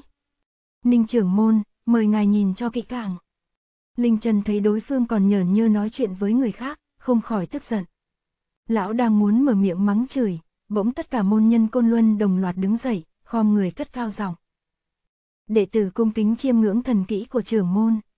Đám này một bộ cung kính chờ chắc lăng chiêu ra chiêu. Các khách mời trong sảnh thấy Côn Luân Sơn tự tin như vậy, trong lòng kinh ngạc xen lẫn sợ hãi. Ninh bất phàm thì cau mày, ngưng thần xem xét từng động tác nhỏ của Trác Lăng Chiêu. Linh chân xì một tiếng khinh miệt, quát lên với Trác Lăng Chiêu. Họ chắc kia, cái đám chó săn nhà ngươi quả là ghê tởm khiến cho người ta cười sặc. ngươi mau lon ton lại đây nhanh lên. Lão vận khí ngưng lực, hồ quát liên tục nhưng Trác lăng chiêu chỉ đứng yên một chỗ, vẻ mặt như cười lại như không cười, chậm chạp không bước lên ra chiêu. Linh Trần đứng nhìn một hồi, không kiên nhẫn quát. Người mau mau đến đây. Trác lăng chiêu vẫn cười cười, không hề có động tác nào cả. Linh Trần hừ một tiếng khinh miệt, quát. Người không dám lại, vậy Phật ra đành qua đó. Lão nắm chặt tay, bước mạnh một bước, một tiếng oành vang lên, một quyền đánh thẳng đến trước mặt Trác Lăng Chiêu. Quyền này mang theo uy lực không nhỏ, tạo ra tiếng gió gào thét mãnh liệt. Mọi người ngoài vòng chiến thấy nắm đấm của lão ẩn chứa kình lực xoay tròn. Nếu quyền này trung đích sẽ tạo ra biến dạng, dòng lực mãnh liệt tiến vào cơ thể, phá. Vỡ tạng phủ đối phương, có thể xem là một tuyệt chiêu lấy mạng người nhanh gọn. Mắt thấy sắp thành công, trên mặt Linh chân lộ nụ cười gằn, chợt nghe Linh định kêu lớn. Sư đệ cẩn thận. Linh chân trở nên kinh ngạc. Trác lăng chiêu không hề nhúc nhích chút nào, vậy phải cẩn thận cái gì? Có điều sư huynh kiến thức phi phàm, lúc này kêu to nhắc nhở chắc chắn có thâm ý. Lão vội vàng dùng sức dừng bước. ầm một tiếng, sàn nhà bị phá vỡ. Linh, chân cứng rắn lùi lại ba bước, liền quay đầu liếc Linh định một cái, nhíu mày hỏi. Sự huynh bảo đệ cẩn thận cái gì? Có chuyện gì sao? Chợt nghe tiền lăng dị cười hì hì, nói. Sư huynh của ngươi sợ ngươi bị trưởng môn chúng ta giết chết, mới la lên cảnh cáo, hiểu chưa? Linh chân giận dữ, quát. Mẹ ngươi đánh dám chó. họ chắc có đầu rút cổ không dám lên. Các ngươi còn đứng đó mà dõng dạc, không biết nhục. Sao? Linh chân điên cuồng mắng không ngừng, chợt thấy mọi người trong sảnh đều che miệng cười trộm. Hai người Linh Định và Dương Túc Quan, một thì thở dài một thì đỏ mặt, đều cúi đầu không nói. Linh chân ngạc nhiên hỏi.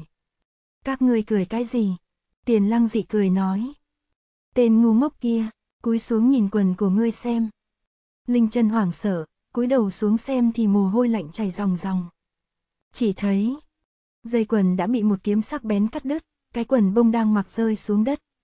Lúc này Linh chân mặt không còn chút máu, mới biết vừa rồi chắc lăng chiêu xuất kiếm nhanh như chớp, bản thân không hề có cảm giác gì cả. Linh chân mặt đỏ tai hồng, phút chốc không biết nên kéo quần lên hay không, bỗng nghe tiền lăng dị cười nói. Vết lở trên mông của người này gớm quá, sao không đi chữa trị vậy? Mọi người ha hả cười to, ai ai cũng đưa tay chỉ trỏ vào Linh chân. Linh chân bi thương trong lòng, ngẩng. Đầu thấy người nào cũng hi hi cười dài không ngớt, nhìn bản thân mình với vẻ đầy chê cười. Linh chân dương dương mắt hổ, nghĩ đến danh dự cả đời thoáng chốc tan biến như gió, lại còn ảnh hưởng đến võ danh ngàn năm của thiếu lâm. Càng nghĩ trong lòng càng thấy chua xót, lão liền cứng rắn dụng một chỉ tự đâm thẳng vào ngực mình, muốn kết liễu bản thân. Tần khách đứng xem không ngờ được chuyện này, thoáng chốc kinh hãi ngây người, Linh Định vừa sợ vừa vội, lớn tiếng nói. Sư đệ mau dừng lại. Lão đẩy mọi người rồi chạy nhanh tới. Một tay ngăn hành động của Linh chân chỉ cần chậm một bước, Linh chân đã chết thảm ngay tại trận. Đám người Lưu Vân, Quyên Nhi, Diễm Đình đều đổ mồ hôi lạnh toàn thân. Linh chân rơi lệ nói. Đệ học nghệ không tinh, đã làm nhục võ danh của thiếu lâm, hôm nay không tự sát tả tội, còn mặt mũi quay về nữa sao? Hai tay lão hết sức dãy rụa, vùng vẫy muốn thoát khỏi vòng tay của Linh Định. Linh Định biết sư đệ luôn luôn cậy mạnh, một mình chỉ sợ không ôm nổi hắn, liền quay lại nhìn Dương Túc Quan. Dương! Túc Quan thở nhẹ một tiếng, đến sau lưng Linh chân, năm ngón tay khẽ điểm vài cái.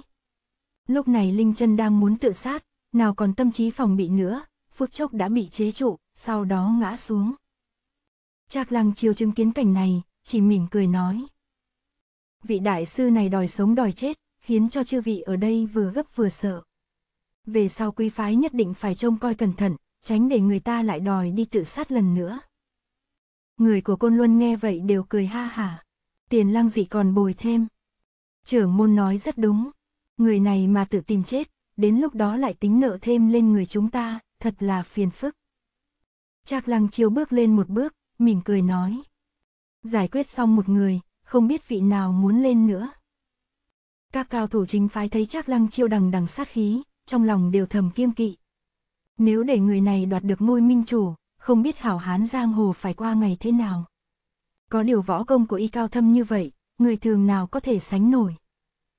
Mọi người ai nấy lo lắng, đang không biết làm thế nào mới đúng. Bỗng nghe một người nói. Trác trưởng môn, ta lên tiếp chiêu ngươi đây. Mọi người nhìn lại, một người xài bước tiến đến giữa sân. Chính là thủ tọa La Hán đường Thiếu Lâm, Thánh Tăng Linh Định. Mắt thấy sư đệ chịu nhục, Linh Định lòng đầy tức giận nhưng mặt ngoài không lộ hỉ nộ. Lão bình thản chắp tay nói. Trác trưởng môn, lão nạp không có ý. Tranh đoạt đệ nhất thiên hạ hay ngôi vị võ lâm minh chủ. Có điều ân oán giữa tệ tử và quý sơn, hôm nay buộc phải kết thúc.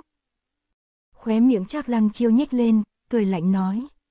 Đại sư có ý giáo huấn tại hạ, vậy không còn gì tốt hơn nữa. Linh định nói. Trác trưởng môn dung túng môn nhân tàn sát toàn gia yến lăng tiêu cục, lại tự tới cướp đoạt vật của túc quan sư đệ. Hôm nay nếu không bắt các hạ giao ra hung phạm, vật về chủ cũ, lão nạp sẽ làm ngàn vạn đệ tử thiếu lâm trong thiên hạ. Thất vọng. Vẻ mặt lão trầm xuống, lạnh lùng nói. Trác trưởng môn, hôm nay nếu ngươi bại dưới tay lão nạp, phải theo ta về bồn tự chịu thẩm vấn. Trác lăng chiêu ồ một tiếng, nói. Chịu thẩm vấn, thiếu lâm tự cũng có nha môn sao. Đám người côn luân phút chốc cười ha hả. Trong tiếng cười vang, bỗng nghe một người mở lời xen vào. Thiếu lâm tự không có nha môn. Nhưng nếu đã lập võ lâm minh chủ, sao không thể lập thêm một cái nha môn?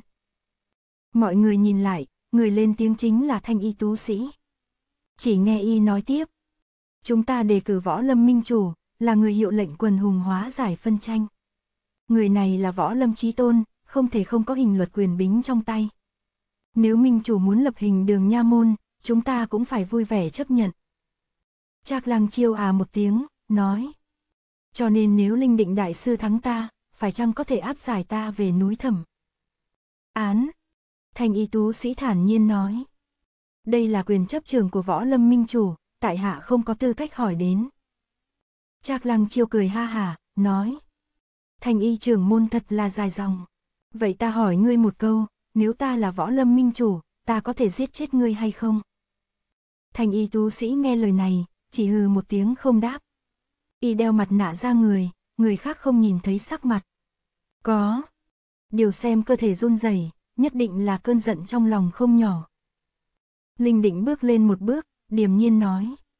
Trác trưởng môn đừng tự tin như vậy, ngươi dám đánh cuộc một lần hay không? Trác lăng chiêu cười nói. Được, nếu đại sư làm minh chủ, muốn xử chắc lăng chiêu ta thế nào thì tùy, tuyệt không một câu oán hận. Tuy nhiên, ta cũng không muốn làm một vụ buôn bán không lời. Nếu ta trở thành võ lâm minh chủ, từ nay về sau, chỉ cần đệ tử thiếu lâm nhìn thấy người của côn luân ta. Nhất định phải khom người xin đi đường vòng. Không biết đại sư dám đánh cuộc hay không? Các khách mời nghe vậy đều hoảng sợ, chắc lăng chiêu thực quá cuồng vọng rồi, muốn mượn cơ hội áp đảo tung sơn thiếu lâm tự. Nếu hôm nay Linh Định bị y đánh bại, mai sau e là thiếu lâm không còn chỗ đứng trong giang hồ. Linh Định nghe thì nổi cơn lạnh toàn thân, thầm nghĩ, cuộc chiến này liên quan quá lớn, nếu ta sơ sót thất bại, không những hủy đi uy danh thiếu lâm, ta cũng trở thành tội nhân thiên cổ của tung sơn mất. Nghĩ vậy thì lão trở nên do dự. Cao thủ đệ nhất trong chùa chính là thiên tuyệt tăng. Nếu lão hòa thượng này quyết chiến cùng chắc lăng chiêu, khả năng chiến thắng sẽ cao thêm vài phần. Nhất thời không biết làm thế nào, Linh Định liền quay đầu nhìn về Dương Túc Quan. Mọi người nín thở ngưng thần, chờ đợi người của Thiếu Lâm đáp lời. Trong bầu không khí im ắng vạn phần, Dương Túc Quan bước lên. Chàng mỉm cười, bộ dáng khoan thai không hề hốt hoảng. Trác Lăng chiếu liếc mắt một cái, nói. Linh định đại sư nhát gian sợ phiền, chẳng lẽ Dương Lang Trung cũng là hạng. Như vậy, muốn rút lui sao? Người của Côn Luân nghe vậy đều phá lên cười. Dương Túc Quan mỉm cười nói. Trác trưởng môn không cần lo lắng. Hôm nay chúng ta cứ ước định như vậy đi. Chỉ cần thiếu lâm tự chúng ta đoạt được ngôi võ lâm minh chủ, chắc trưởng môn phải theo chúng ta lên tung sơn để trưởng lão bổn tự thẩm vấn. Nếu chắc trưởng môn lấy được ngôi minh chủ, từ nay tăng nhân bổn tự thấy đệ tử quý phái, đều phải đi vòng nhường đường. Mọi người nghe lời này đều giật mình. Hoảng sợ, Trác Lăng Chiêu thì nở nụ cười, xem ra rất vừa lòng. Linh định thất sắc, đưa đầu qua thấp giọng hỏi. Võ công của Trác Lăng Chiêu không hề tầm thường, Dương sư đệ đừng chung kế khích tướng của đối phương. Đợi sau này báo lên phương trưởng, mời thiên tuyệt sư thúc ra tay cũng không muộn. Dương Túc Quan mỉm cười, lắc đầu nói. Không phải Túc Quan dám bất tuân lời sư huynh, chỉ là tình thế trước mắt khẩn trương. Hôm nay nếu chúng ta cúi đầu trốn tránh, e là danh dự ngàn năm của. Thiếu lâm sẽ bị hủy sạch, mai này dù sư phụ của đệ ra mặt, cũng không thể lấy lại được như xưa. Linh định trao mày hỏi. Vậy phải làm sao bây giờ? Chẳng lẽ cứ tùy tiện đánh đấm? Dương Túc Quan mỉm cười, ghé người đến gần lão, thấp giọng nhắc. Sư huynh, dùng tu la thần công. Linh định nghe thì rúng động, run giọng hỏi lại. Điều này, sao có thể được? Dương Túc Quan thấp giọng nói. Vì võ danh ngàn năm của Thiếu Lâm, trận này tuyệt đối không thể thua. Sư huynh không cần cố kỵ gì nữa. Linh định nghe lời này thì ứa mồ hôi lạnh, nói không nên lời. Trác lăng chiêu thấy hai người châu đầu ghé tai, kìm không được buông lời cười nhạo.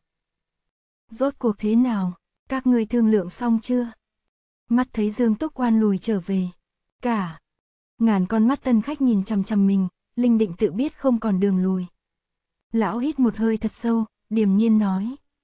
Trác trưởng môn tự lo cho mình thì hơn, không cần quan tâm chúng ta. Nói xong chắp tay trầm giọng nhắc. Thiếu lâm thủ tọa La Hán đường Linh định, cần cần tiếp chiêu của kiếm thần Côn Luân. Trác lăng chiêu lập tức rút trường kiếm, mỉm cười nói. Nào có dám, đại sư mời ra chiêu.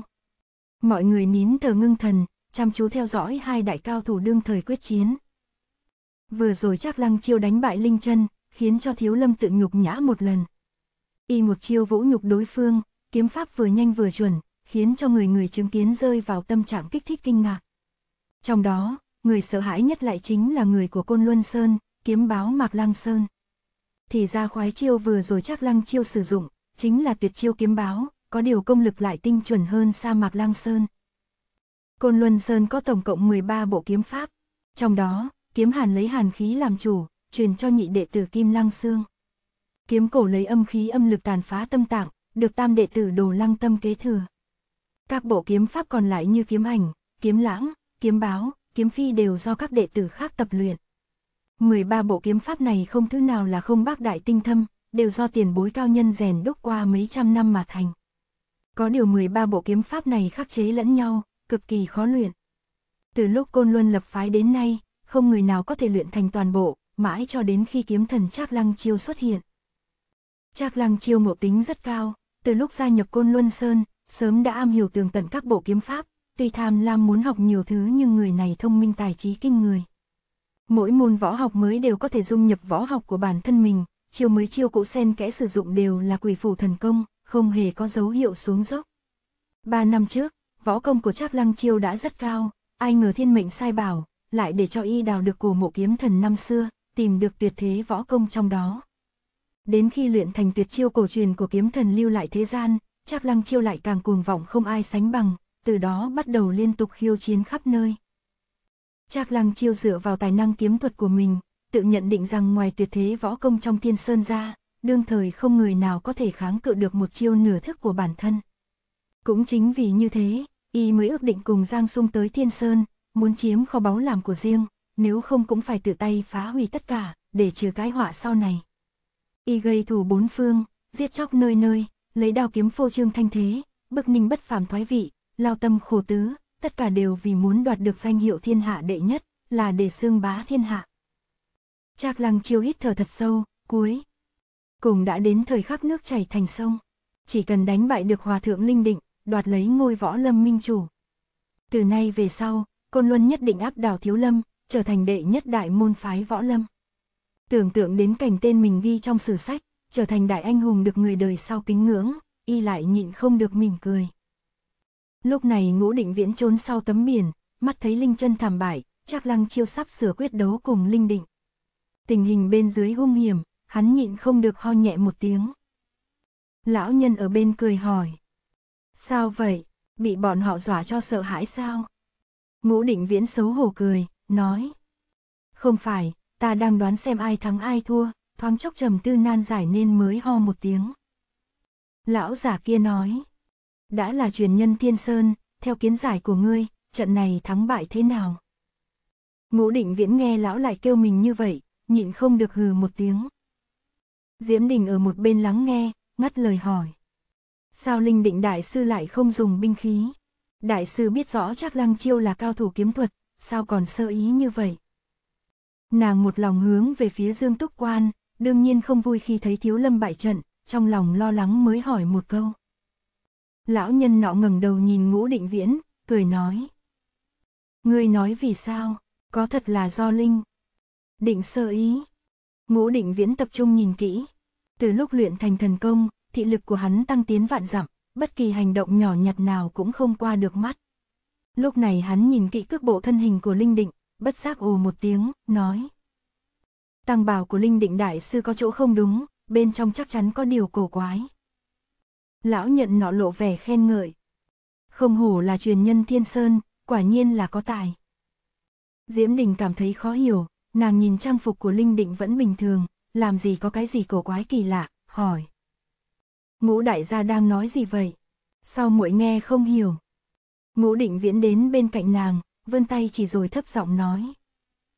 muội nhìn kỹ tăng bào của Linh Định Đại Sư mà xem. Diễm Đình dương mắt nhìn hồi lâu, chỉ thấy Linh Định cúi đầu niệm Phật như thường, liền lắc đầu nói. Không thấy gì cả. Ngũ định viễn thúc giục nói. Nhìn thật kỹ vào, cẩn thận từng chút, chú ý cổ tay áo của đại sư. Diễm Đình theo lời nhìn kỹ, thoáng chốc kinh ngạc hoảng sợ thốt lên. Tay áo của đại sư, sao lại bị kéo lên như ngắn đi vậy? Ngũ định viễn gật đầu, tiếp tục chỉ. Đúng rồi, muội lại nhìn ống quần của đại sư xem. Diễm Đình vội vàng nhìn lại, quả thật thấy ống quần của Linh Định ngắn hơn mấy tấc, giống như người lớn mặc quần áo của trẻ con vậy. Lão nhân nọ cười ha hà, vỗ vỗ đầu nàng rồi nói. Cô nhỏ đã hiểu rồi chứ. Diễm Đình suy tư chốc lát, phút chốc kinh ngạc hoảng sợ nói. Đại, đại sư sao lại cao lên như vậy? Ngũ định viễn gật gật đầu nói. Đúng vậy, đây chính là điểm kỳ quái. Lão nhân nọ cười nói. Hai người các ngươi cứ chờ xem đi. Tiểu tử chắc lăng chiêu rất kiêu ngạo nhưng linh định cũng không phải là đèn cạn dầu. Trận này nhất định kéo dài, các ngươi nên quan sát đối chiếu với sở học của mình, bảo đảm lợi ích một đời. Nói xong cười cười nhìn ngũ định viễn, dường như ẩn chứa thâm ý. Ngũ định viễn đột nhiên bừng tỉnh, hắn quay người đưa lưng về phía lão nhân, cúi người từ trong lòng lấy ra bí kíp phi la tử khí. Mở nội dung võ học trên trang giấy, chỉ thấy trang thứ nhất có viết. Đạo của quyền nằm ở chỗ thần, tinh hoa của kiếm tìm thấy ở ý, phi la tử khí của ta không phải quyền cũng không phải kiếm, lại giống như quyền như kiếm, trong kiếm chứa quyền, trong quyền có kiếm khí, là đại pháp hóa thiên địa cho bản thân mình dùng. Bên trong còn có không ít chiêu thức võ công, ngũ định viễn tán thưởng trong lòng. Hắn nhìn hình vẽ trên trang sách, liền muốn dùng nó đối chiếu với võ công của hai đại cao thủ bên dưới. chương 8, Luận võ đoạt soái hồi 1 Hai đại cao thủ chậm rãi bước đến gần nhau. Mọi người trong sảnh có thể tận mắt chứng kiến cao nhân đương thời quyết chiến. Trận này đúng là bình sinh hiếm gặp. Cả đám thầm kêu sảng khoái, cảm giác thật bỏ công bôn ba lên hoa sơn chuyến này. Lại nói chắc lăng chiêu luân phiên đánh bại hai đại kim cương là Linh Âm, Linh chân đã xem thấu ngọn nguồn võ học thiếu lâm. Lúc này y thầm tính toán, so về nội lực thì cao thủ thiếu lâm thâm hậu vững chắc các môn phái khác khá. Nhiều, có điều nói về độ linh hoạt tùy biến trong chiêu thức thì đám hòa thượng này lại kém một bậc. Ngay cả đệ tử tục gia như Dương Túc Quan cũng mắc phải khuyết điểm này. Muốn đánh bại đám cao thủ nội lực thâm hậu như vậy, ngoài chính chiêu cần phải dùng kỳ chiêu. Trên mặt Trác Lăng chiêu nở cười tươi tắn nhưng quỷ kế liên tục xuất hiện trong lòng, không ngừng suy tính chiêu thức động thủ. Tay ấn chặt chuôi kiếm, Trác Lăng chiêu đang muốn rút kiếm tấn công. Lại thấy Linh Định cúi đầu, đôi mày rủ xuống, miệng đang lẩm bẩm không biết đang sử dụng tà pháp gì. Trác Lăng chiêu cười lạnh thầm nghĩ, lão hòa thượng này. Chết đến nơi mà còn đứng đó niệm kinh, là muốn tự siêu độ cho bản thân hay sao? Y thủ nạp một hơi, đang muốn xuất kiếm, chợt thấy thân hình linh định có chỗ kỳ quái, ngưng thần nhìn kỹ thì phát hiện đối phương đã cao hơn mấy tấc. Trác lăng chiêu hoàng sợ thầm nghĩ, rốt cuộc lão hòa thượng này đang diễn tuồng gì vậy? Càng xem càng hoảng, thoáng chốc y gào thét một tiếng, nội lực tuôn ra, thanh quang chợt lóe. Chỉ thấy kiếm quang lay động như xét trên trời giáng xuống, người phàm mắt thịt nào có thể chặn được. Trong một thoáng, trên người linh định đã liên tục trúng kiếm vào cổ họng, nhân. Trung, đầu vai, bụng dưới, phần dưới thân, đủ tất cả các điểm yếu hại trên người. Xem ra kiếm pháp của Trác Lăng Chiêu vừa nhanh vừa chuẩn, đã đến cảnh giới nhập hóa. Những người võ công thấp một chút có mặt ở đây, còn không biết Trác Lăng Chiêu xuất kiếm thế nào. Đường trường rõ ràng đường kiếm của y, chỉ có Ninh Bất Phàm, Phương Tử Kính và một vài cao thủ khác. Thắng bại đã phân, Trác Lăng Chiêu mỉm cười tra kiếm vào vỏ, sau đó xoay người trở về. Trong lòng đầy đắc ý, không ngờ Linh Định chỉ là hạng tốt mã rẻ cùi, là một con hổ giấy, ngay cả một kiếm của y. Cũng ngăn không được, trận này thắng dễ dàng đến không thể ngờ nổi. Trác Lăng Chiêu đang muốn rời đi, chợt nghe một thanh âm truyền đến. Xoay người lại, lão nạp không muốn ám toán sau lưng người khác. Trác Lăng Chiêu giật mình, hoảng sợ quay đầu. Đã thấy Linh Định hai tay ôm ngực, đang cúi đầu nhìn mình. Trác Lăng Chiêu ngẩng đầu lên, hoảng sợ nói. Ngươi, sao lại cao lên như vậy? Chỉ thấy lúc này thân hình Linh Định cao thêm một cái đầu, dáng người thấp bé giờ cao lớn lên tới gần hai thước, dù là đại lực sĩ cũng phải cam nguyện chịu thua. Mặt mũi Linh Định vốn hiền hòa như thánh tăng, giờ phút này lại giống như yêu ma quỷ quái, trên mặt tỏa nồng đậm sát khí. Mọi người trong sảnh lộ vẻ sợ hãi, ngơ ngác mà nhìn. Linh định lạnh lùng thốt. Trác lang chiêu, mọi chuyện đều là do ngươi tự chuốc lấy. Nếu không phải bị ngươi ép buộc, ta sao dám vi phạm nội quy bổn tự, sử xuất tu la thần công cấm truyền này. Trác lăng chiêu lầm bẩm Tu la thần công. Trong thoáng chốc nhớ đến một điển cố, bất giác toàn thân y ứa mồ hôi lạnh.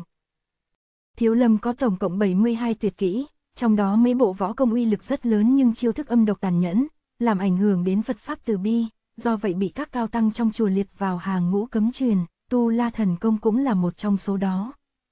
Bộ võ công này thần diệu không kể xiết, có điều một khi phát công thì sẽ bị ma tính khống chế lòng người. 100 năm trước, có một tăng lữ trẻ tuổi luyện tập thành công đã trốn xuống núi giết người gian dâm, không chuyện ác nào không làm, sau đó bị các cao tăng trong chùa liên thủ giết chết, bộ thần công này mới bị liệt vào hàng cấm truyền. Đến giờ trong thiếu lâm tự, ngoài phương trưởng, thủ tọa La Hán Đường và một số ít người, tăng lữ trong chùa đều không thể xem không thể tập. Chỉ vì trận chiến này liên quan đến tổn vong vinh nhục của thiếu lâm, Linh Định đã rơi vào thế không thể không thắng. Sắc mặt Trác Lăng chiêu thảm đảm, chưa biết đối phó thế nào. Đúng lúc này, Linh Định đưa tay đấm ngực, lão ngửa, mặt lên trời điên cuồng hét lớn, sau đó lao thẳng về Trác Lăng chiêu. Mọi người thấy Linh Định nào còn bộ dạng cao tăng hiền hòa, trong lòng sợ hãi, vội lùi về sau vài bước. Linh Định vung trường lên, bàn tay to như quạt hương bồ đập xuống, Trác Lăng chiêu khẽ động cước bộ. Kiếm quang bắn ra bốn phía, phút chốc y xuất ra liên tục 72 nhát kiếm, kiếm kiếm đâm trúng vùng ngực bụng yếu hại của Linh Định. Có điều lão hòa thượng này lại không có cảm giác đau đớn, không thấy máu tươi chảy ra. Trác Lăng chiêu hoảng sợ, biết đây là cường địch hiếm gặp trong đời. Linh Định nghe răng cười một tiếng, nói. Tự xưng là kiếm thần, sao kiếm pháp không thấy gì đặc biệt. Lão giống to một tiếng, hai quyền dũng mạnh đập xuống đầu Trác Lăng chiêu. Trác Lăng chiêu vội vàng nhảy ra tránh. Đất cát bắn tung tóe bốn phía, mặt đất bị quyền pháp cương mãnh đánh thành một cái hố lớn. Nếu bị hai quyền nọ đánh trúng người, chỉ sợ Trác Lăng chiêu gãy xương đứt gân, chết oan chết uổng ngay tại chỗ. Nội lực linh định xếp danh trong 10 người hàng đầu trốn võ lâm, dựa vào công lực thâm hậu cỡ này, lại dùng tuyệt. Chiêu cấm truyền, lúc này kích phát hoàn toàn tiềm năng trong cơ thể. Một trường đánh tới mang theo lực đạo cương mãnh vô bì, chỉ sợ không người nào trong thiên hạ ngăn nổi. Trác lăng chiêu tự biết tình huống không ổn. Y hít một hơi chân khí thật sâu, trường kiếm xoáy thành vòng tròn, tiền lăng dị thấy chiêu này, kinh ngạc hoảng sợ thốt. Kiếm ảnh, đây là tuyệt chiêu của ta. Chỉ thấy trường kiếm nguồn nghèo biến ảo, khiến cho người ta hoa cả mắt, hoàn toàn không thấy đường đi của kiếm. Kiếm tới không hình ảnh, kiếm về không. Tung tích, chính là đạo lý tối cao của kiếm ảnh. Tiền lăng dị dựa vào vô hình bảo kiếm mới có thể khắc địch, chắc lăng chiêu chỉ nhiễu kiếm thành vòng, khiến cho người người không thể nhìn rõ đường đi của kiếm. Đồng môn cùng học nghệ nhưng công lực hai người chênh lệch quá lớn, thật không thể nào so sánh. Chỉ thấy thanh quang lóe lên, trường kiếm của Trác Lăng chiêu bắn ra nhanh chóng. Tuyệt chiêu này là tổ hợp của hai chiêu kiếm ảnh và kiếm báo. Kiếm tới không ảnh, tốc độ lại nhanh như sấm chớp, vô cùng lợi hại. Lúc này chắc Lăng chiêu đắc im nghĩ. Thầm, cho dù ngươi luyện thành tấm thân kim cương bất hoại, chẳng lẽ không thể bị hủy đôi mắt sao? Lúc này như có hai thanh kiếm song song như chớp đâm tới. Trác Lăng chiêu quát to một tiếng. Chúng, thoáng chốc mũi kiếm đâm thẳng vào hai mắt Linh Định. Linh Định vội vàng cúi đầu, dùng chán ngăn chặn mũi kiếm. Nếu người bình thường sử dụng chiêu này, để mũi kiếm đâm vào sọ, nhất định là tự tìm chết. Ai ngờ toàn thân Linh Định cứng rắn như thép, trường kiếm của Trác Lăng chiêu đụng vào chán lão thì lại. Bị hoàn đi, Linh Định cũng tránh được bị hủy đi hai mắt. Lực va chạm giữa kiếm và chán quá mức mãnh liệt, may mắn là thân kiếm mềm dẻo nên chỉ bị văng ra, chưa đến mức bị gãy làm đôi. Dù là như thế, cũng khiến cho Trác Lăng chiêu đổ mồ hôi lạnh, kinh ngạc nói không nên lời. Linh định gầm lên một tiếng, quát. Nạp mạng. Hai tay lão không ngừng múa may, vô số quyền trường xuất hiện, vừa giống thiên thủ La Hán, lại giống như bát tí kim cương. Quyền cước bất phàm, tạo ra. Kình phong rít gào khắp nơi, không ít tân khách bị gió mạnh đẩy ngã. Mọi người vội vàng vận công hộ thể, cố chịu cơn đau như dao cắt qua da thịt trên mặt. Trác lăng chiều đỡ trái thì hở phải, vô cùng vất vả, đôi chân liên tục né tránh.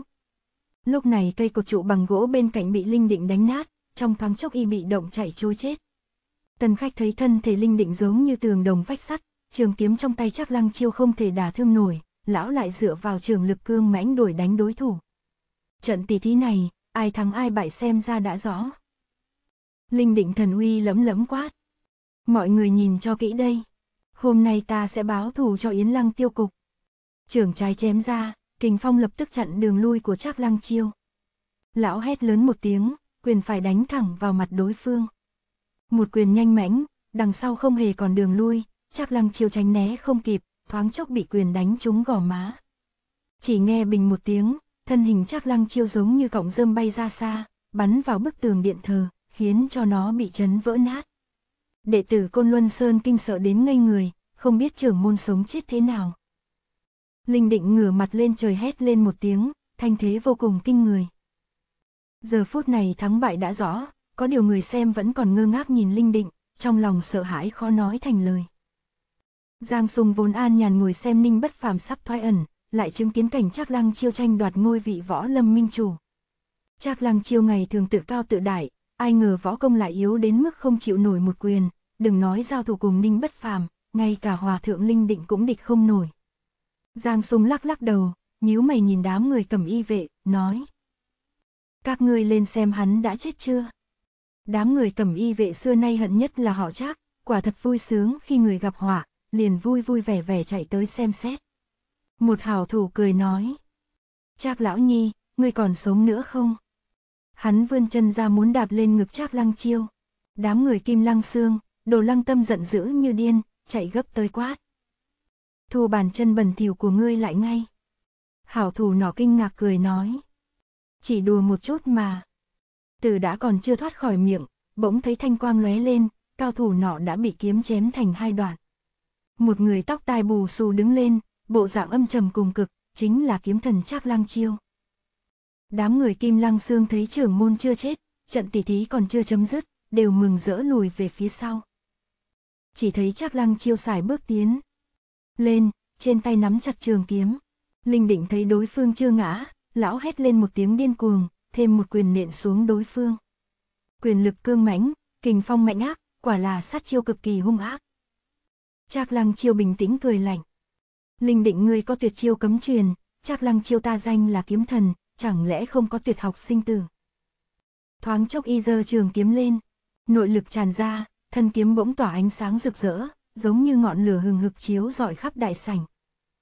Tất cả mọi người chứng kiến đều sợ hãi kinh dị, hoảng sợ ngạc nhiên hỏi. Đây, đây là cái gì? Lúc này sắc trời mờ ảo, mặt trời đã lặn về Tây. Chỗ ngồi nơi này bắt đầu tối dần, ánh sáng phát ra từ thân kiếm càng thêm chói lòa, khiến cho mọi người không thể mở nổi mắt. Phương tử kính vốn đang khép hờ hai mắt, không hề quan tâm để ý xung quanh, cho dù ban nãy Linh định dùng tu la thần công cũng không hề động đậy. Nào biết ánh sáng vừa tỏa ra rực rỡ trên thân kiếm, bất giác hai mắt lão lóe lên thần. Quang, thoáng chốc đứng dậy, kinh ngạc hoảng sợ nói. Kiếm quang, giỏi cho tiểu tử nhà ngươi. Linh định thì không thèm quan tâm cái gì là kiếm quang hay đao nhoáng, dù sao đã có thân thể kim cương bất hoại, dù bảo đao lợi kiếm cỡ nào cũng không thể đả thương. Lão hét lên một tiếng, hung mãnh đánh ra một quyền. Ngay lúc này, Trác Lăng Chiêu cũng dương kiếm, ánh sáng xanh rực rỡ lóe lên đâm tới lồng ngực Linh Định. Linh Định hề tránh chiêu, một quyền đánh thẳng vào mặt Trác Lăng Chiêu. Chỉ thấy ánh sáng tắt dần, một kiếm của Trác Lăng Chiêu đâm vào ngực Linh Định, nắm đấm của Linh Định cũng trúng cằm dưới Trác Lăng Chiêu. Thân hình hai người không hề nhúc nhích, giống như chết đứng tại trận. Qua thật lâu, Trác Lăng Chiêu mới chậm rãi thu kiếm, đẩy tay Linh Định đang trên hàm mình ra. Chỉ nghe ầm một tiếng, cơ thể cao to của Linh Định ngã xuống đất, từ ngực phun lên một dòng máu tươi, xem ra đã bị trọng thương. Lúc này cơ thể Linh Định bắt đầu thu nhỏ, không bao lâu đã biến thành hình dáng thánh tăng thấp bé hiền hòa ngày thường. Mọi người mắt thấy trận chiến luân phiên. Thay đổi cao trào, kết quả cuối cùng Trác Lăng Chiêu chuyển bại thành thắng, trong lòng đều hoảng sợ không thôi. Trác Lăng Chiêu tra kiếm vào vỏ, sửa sang lại đầu tóc trang phục, sau đó cất cao giọng nói. Chư vị nghe cho rõ đây, từ nay về sau đệ tử thiếu lâm gặp người môn phái ta, đều phải nhường đường né tránh. Nếu không, Linh định là tấm gương cho các ngươi đó. Đám người dương túc quan, vi tử tráng thấy mạng của Linh định nguy ngập trong sớm tối, lập tức xông lại. Vi tử tráng kêu lên. Ta đến cầm máu. Hắn vội vàng điểm huyệt nhưng vết thương ở ngực Linh định quá sâu, máu tươi ào ào bắn ra. Chúng tân khách thấy Linh định già cả như vậy, chỉ sợ vết thương này sẽ cướp mất tính mạng của lão.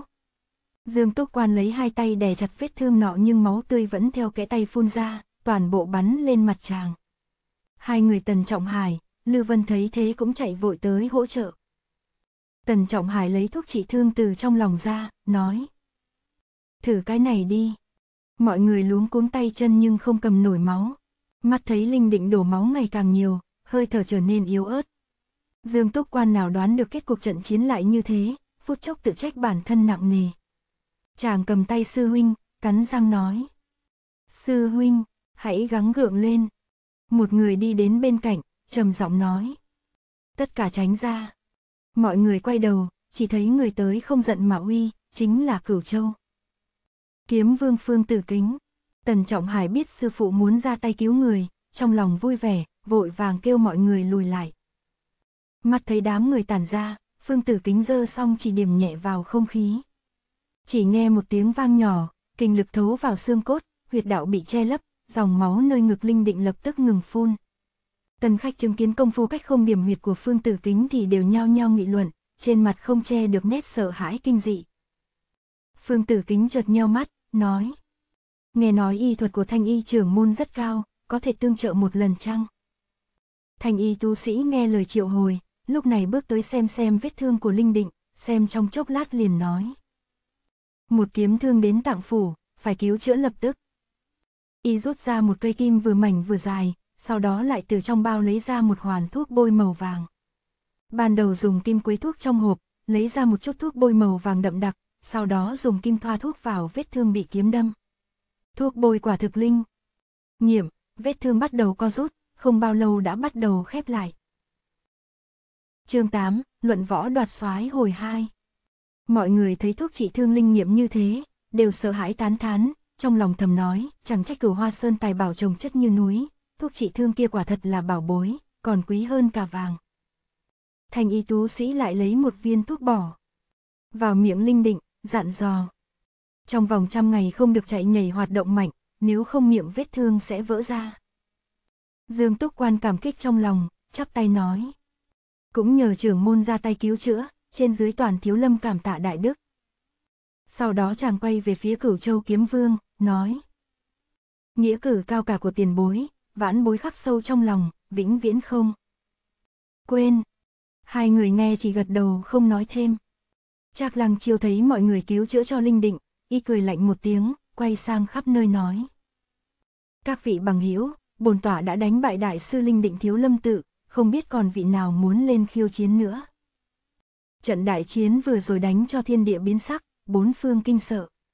Mọi người thấy võ công Linh Định thần kỳ như vậy mà còn thua trong tay người này. Bây giờ hỏi còn ai không biết tự lượng sức dám lên khiêu chiến. Trác lăng chiêu mắt dừng trên thân thanh y tú sĩ, nói. Các hạ cũng là người đủ tư cách lên đài, có muốn hoạt động một chút, so vài chiêu với bổn tọa. Thanh y tú sĩ lắc đầu nói. Ta không phải là đối thủ của trác trưởng môn. Trác lăng chiêu mỉm cười, nói. Biết mình biết người, thanh y trưởng. Môn quả nhiên thông minh. Y quay đầu nhìn sang Dương Túc Quan cùng Tần Trọng Hải, lại hỏi. Hai vị thiếu niên anh kiệt, có đồng ý làm một trận quyết đấu sinh tử với ta chăng? Hai hàng chân mày Dương Túc Quan nhíu lên, liền đứng phát dậy. Hai vị sư huynh lần lượt bại trận, mưu kế của chàng cũng mất đi hiệu quả.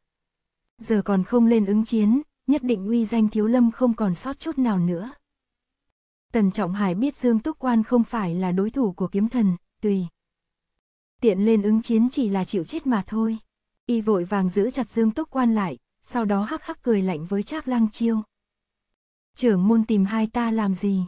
Ngài quay lại xem đằng sau kìa, thiên hạ đệ nhất ninh bất phàm đang nhìn chằm chằm đó. Trác Lăng Chiêu mỉm cười nói. Đúng rồi, sao ta lại quên hắn? Y quay đầu lại, trầm giọng hỏi. Ninh huynh, muốn đấu một trận với ta chăng? Ánh mắt vô cùng sắc bén, nhắm thẳng vào Ninh bất phàm. Phương tử kính không ra tay tỉ thí, thiên tuyệt tăng lại không đến. Trong tứ đại tông sư, chỉ còn mỗi mình Ninh bất phàm có thể chống lại Trác Lăng Chiêu. Chỉ cần Ninh bất phàm đánh bại kiếm thần cuồng ngạo, lúc đó võ lâm sẽ trở lại cục diện ban đầu. Mọi người biết vận mệnh võ lâm đều nằm cả trong trận chiến sắp tới, ai nấy đều đưa mắt nhìn về phía Ninh bất phàm, chờ đợi một câu trả lời xác đáng. Ninh bất phàm cười gượng vài tiếng, bồi cười nói. Tại hạ sao có thể là đối thủ của Trác trưởng môn? Trác trưởng môn thần công cái thế, thiên hạ vô địch, mỹ danh thiên hạ đệ nhất phải dâng cho ngài rồi. Các vị khách đến xem đều nhìn y bằng ánh mắt hèn mọn, thầm nghĩ, Ninh Bất Phàm là con hổ giấy, không dám đứng ra ứng chiến. Trác Lăng Chiêu chỉ hừ một tiếng, nói: "Ninh tiên sinh khách khí rồi, Trác Mỗ chưa đánh thắng tiên sinh, sao có thể vỗ ngực tự xưng là võ lâm minh chủ?" Ninh Bất Phàm khom người thở dài, than: "Thở, minh chủ trăm ngàn lần đừng nói như vậy. Lão nhân gia ngài đã bại vô số cường địch, thật sự khiến người người kính ngưỡng, tại hạ sao có thể tiếp được một chiêu nửa thức của ngài. Thỉnh ngài dơ cao đánh khẽ, tha cho ta còn cái miệng ăn cháo đi. Mọi người nghe y ăn nói khép nép như vậy, phút chốc lộ vẻ khinh thường, cũng có người nghĩ rằng trong này có âm mưu tính toán gì khác. Phút chốc vẻ mặt mọi người âm tình bất định, đều nghiền ngẫm dụng ý của Ninh Bất Phàm. Trác Lăng Chiêu cười lạnh nói: "Tiên sinh thật sự không muốn động thủ." Ninh Bất Phàm kính cần nhìn mọi người trong sảnh đường, cao giọng nói: "Chư vị ở đây chứng kiến, trưởng môn Côn Luân Sơn, Trác lão sư võ công đệ nhất thiên hạ, đã ngồi lên ngôi vị võ lâm minh chủ, xin các vị sớm ngày tuyên dương ở trên giang hồ, tại hạ vô cùng cảm kích." Y lấy trường kiếm khỏi cái đĩa đựng, lớn tiếng kêu lên. Hôm nay bất phàm phong kiếm thoái ẩn, về sau không hỏi chuyện giang hồ, mai này nếu mọi người có điều thỉnh giáo, xin mời đi tìm Trác Minh Chủ. Bất phàm ở đây đa tạ. Nói xong lấy nến đốt dưới hộp vàng, nhìn bộ dạng vội vàng giống như muốn đi đầu thai sớm cho kịp vậy. Ninh bất phàm không dám đánh trận cuối cùng, vận số võ lâm chính đạo đã hết, đám người nguyên dịch nhịn không được thở dài một hơi đầy thất vọng. Gương mặt Dương Túc Quan lại trắng như tờ giấy, cắn chặt môi dưới, toàn thân run rẩy. Giang Sung thấy tình thế cơ bản đã định, lập tức tiến lên cười nói. Trác trưởng môn đã đoạt được danh hiệu thiên hạ đệ nhất. Vài ngày nữa hồi kinh, ta nhất định sẽ dâng lên một bản tấu chương, xin triều đình sắc phong Trác trưởng môn là hộ quốc thiên sư của triều đình, vĩnh viễn bảo hộ an nguy vững vàng cho hoàng thất. Trác Lăng Chiêu lộ vẻ vui mừng, chắp tay nói: "Thảo dân Trác Lăng Chiêu, tạ ơn đãi ngộ của Giang đại nhân." Giang Sung cười ha hà nói: Trác trưởng môn bằng bản lĩnh thật sự của mình đạt được ngôi vị, được thiên ân này, cần gì phải nói lời cảm tạ. Bộ dáng Quỳnh Võ Xuyên đang đầy cô đơn, nghe Giang Sung rõng rạc nói chuyện, nhịn không được đứng lên quát. Tiểu tử ngươi, hộ quốc thiên sư là chức vị mà ngươi nói phong thì phong sao? Giang Sung cười nói. Trác trưởng môn chính là nhất đại kiếm thần đương thời. Hoàng thượng phong hiệu cho hắn, có chỗ nào không? Đúng, Quỳnh Võ Xuyên xì một tiếng khinh miệt, nói. Ninh bất phàm còn chưa bị người đánh bại, vĩnh viễn vẫn là thiên hạ đệ nhất. Lời này âm vang hữu lực, người của Hoa Sơn vỗ tay rầm rộ. Riêng Ninh bất phàm nghe thì biến sắc, hai tay run rẩy, cầm cái hộp vàng không chặt lại để rơi xuống đất. Một tiếng len keng vang lên, dòng sáp nóng đỏ bên trong tràn ra đầy đất, thoáng nhìn giống như máu tươi vậy. Giang Sung thở dài một tiếng, nói. Quỳnh Quốc Trượng à, Câu nói hay có thể cứu một mạng người, nhưng một câu ngu ngốc cũng có thể giết chết một người, ngài biết điều này chưa? Quỳnh Võ Xuyên hừ một tiếng, nói. Người nói cái quỷ gì vậy, lão phu nghe không hiểu nổi nửa câu. Giang sung thở dài. Thực ra Ninh Bất Phàm có thể bình an thoái ẩn, ai ngờ vì câu nói của ngài, đại họa sắp rơi xuống đầu hắn rồi. Quỳnh Võ Xuyên biến sắc hỏi. Những lời này của ngươi có ý gì? Giang sung thở dài. Chỉ cần hắn ngoan ngoãn giao lại danh hiệu đệ nhất thiên hạ, sẽ không có người đến quấy rầy nữa, nhưng vì những lời vừa rồi của ngài. Nếu Ninh bất phàm còn sống trên đời, cho dù ai cũng không được xưng là đệ nhất đương thời, ngài nói đúng hay không? Quỳnh Võ Xuyên giật mình hoảng sợ, nhìn thoáng qua Ninh bất phàm. Chỉ thấy sắc mặt y thảm đạm, một lúc lâu nói không nên lời. Quỳnh Võ Xuyên nhìn về phía Giang. Sung, lạnh lùng nói. Cuối cùng ngươi muốn thế nào? Giang Sung mỉm cười, nói. Vòng trời không thể có hai vầng dương, Giang Hồ há dung nổi hai thiên hạ đệ nhất, nếu không ngôi vị minh chủ chỉ là hiểu danh vô thực, vậy thì rất khó coi. Nói xong đứng dậy, đi đến bên Ninh Bất Phàm. Giang Sung vừa đứng, một đám hộ vệ đều rút đao rát ở hông ra, vội vàng luân phiên bảo hộ. Đám hỏa thương thủ cũng giơ súng, nhìn chằm chằm mọi người trong sảnh. Chỉ cần có người hành động thiếu suy nghĩ, chắc chắn là toàn. Thân cùng ăn cả trăm phát đạn. Giang Sung thấy thuộc hạ bảo vệ chu toàn, chắc lăng chiêu cũng rút kiếm đứng bên cạnh nên không hề sợ hãi. Y đứng trước mặt Ninh bất phàm, mỉm cười nói. Ninh Đại Hiệp, ta muốn mượn một thứ của Đại Hiệp. Ninh bất phàm biến sắc, bồi cười nói. Hoa sơn cơ hàn khốn cùng, tiểu nhân thân không của nả, không biết đại nhân muốn mượn cái gì. Giang Sung không trả lời, chỉ cầm hai tay. Ninh bất phàm lên sờ soạng, vẻ mặt tươi cười. Ninh bất phàm run giọng nói. Hai tay tại hạ thô giáp, đại nhân vạn lần đừng sờ, chỉ sợ ô uế tay ngài. Giang Sung cầm hai tay Ninh bất phàm, cười nói. Nói gì vậy, hai tay này vô cùng chân quý. Có điều chính lão đệ tự thừa nhận đánh không lại người ta, còn hứa hẹn sau này không dùng kiếm nữa. Đôi tay này về sau ngoài ăn cơm viết chữ, chắc cũng không còn làm gì khác nữa, đúng không? Ninh bất phàm run giọng nói. Đại nhân, ngài, ngài muốn làm gì? Giang sung cười cười, nói. Không có gì, dù sao về sau hai tay của lão đệ cũng vô dụng, vậy cho ta mượn mang về kinh đi, tương lai chờ ngươi xuống mồ, ta sẽ sai người trả lại, lão đệ nói được hay không? Ninh bất phàm kinh ngạc, run giọng thốt. Ta thoái ẩn còn chưa đủ, ngài, còn muốn chặt hai tay của ta nữa. Giang sung cười nói. Đúng vậy, nếu không thì ta sao có thể an tâm. Trác Minh Chủ sao có thể thoải mái hiệu lệnh quần hùng. Lời vừa nói ra, mọi người đều ồ lên. Đám môn nhân hoa sơn cuồng nộ rút kiếm vọt lên. Giang sung cười nói. Ngăn bọn họ lại. Thoáng cái Hồ Mỹ Nhi, An Đạo Kinh, đám người Côn Luân Sơn đều đồng loạt tiến lên. Đám hỏa thương thủ cũng quay họng súng, nhắm ngay đám người Hoa Sơn. Tân khách trong sảnh đánh giá tình thế. Trong lòng đều rõ ràng, nếu người của Hoa Sơn muốn đánh bừa, dựa vào thực lực của bọn họ, không thể là đối thủ của cao thủ thủ hạ dưới trướng Giang Sung, chắc chắn sẽ chết thảm hơn phân nửa. Trưởng môn các đại phái nhìn nhau thì đều lắc đầu.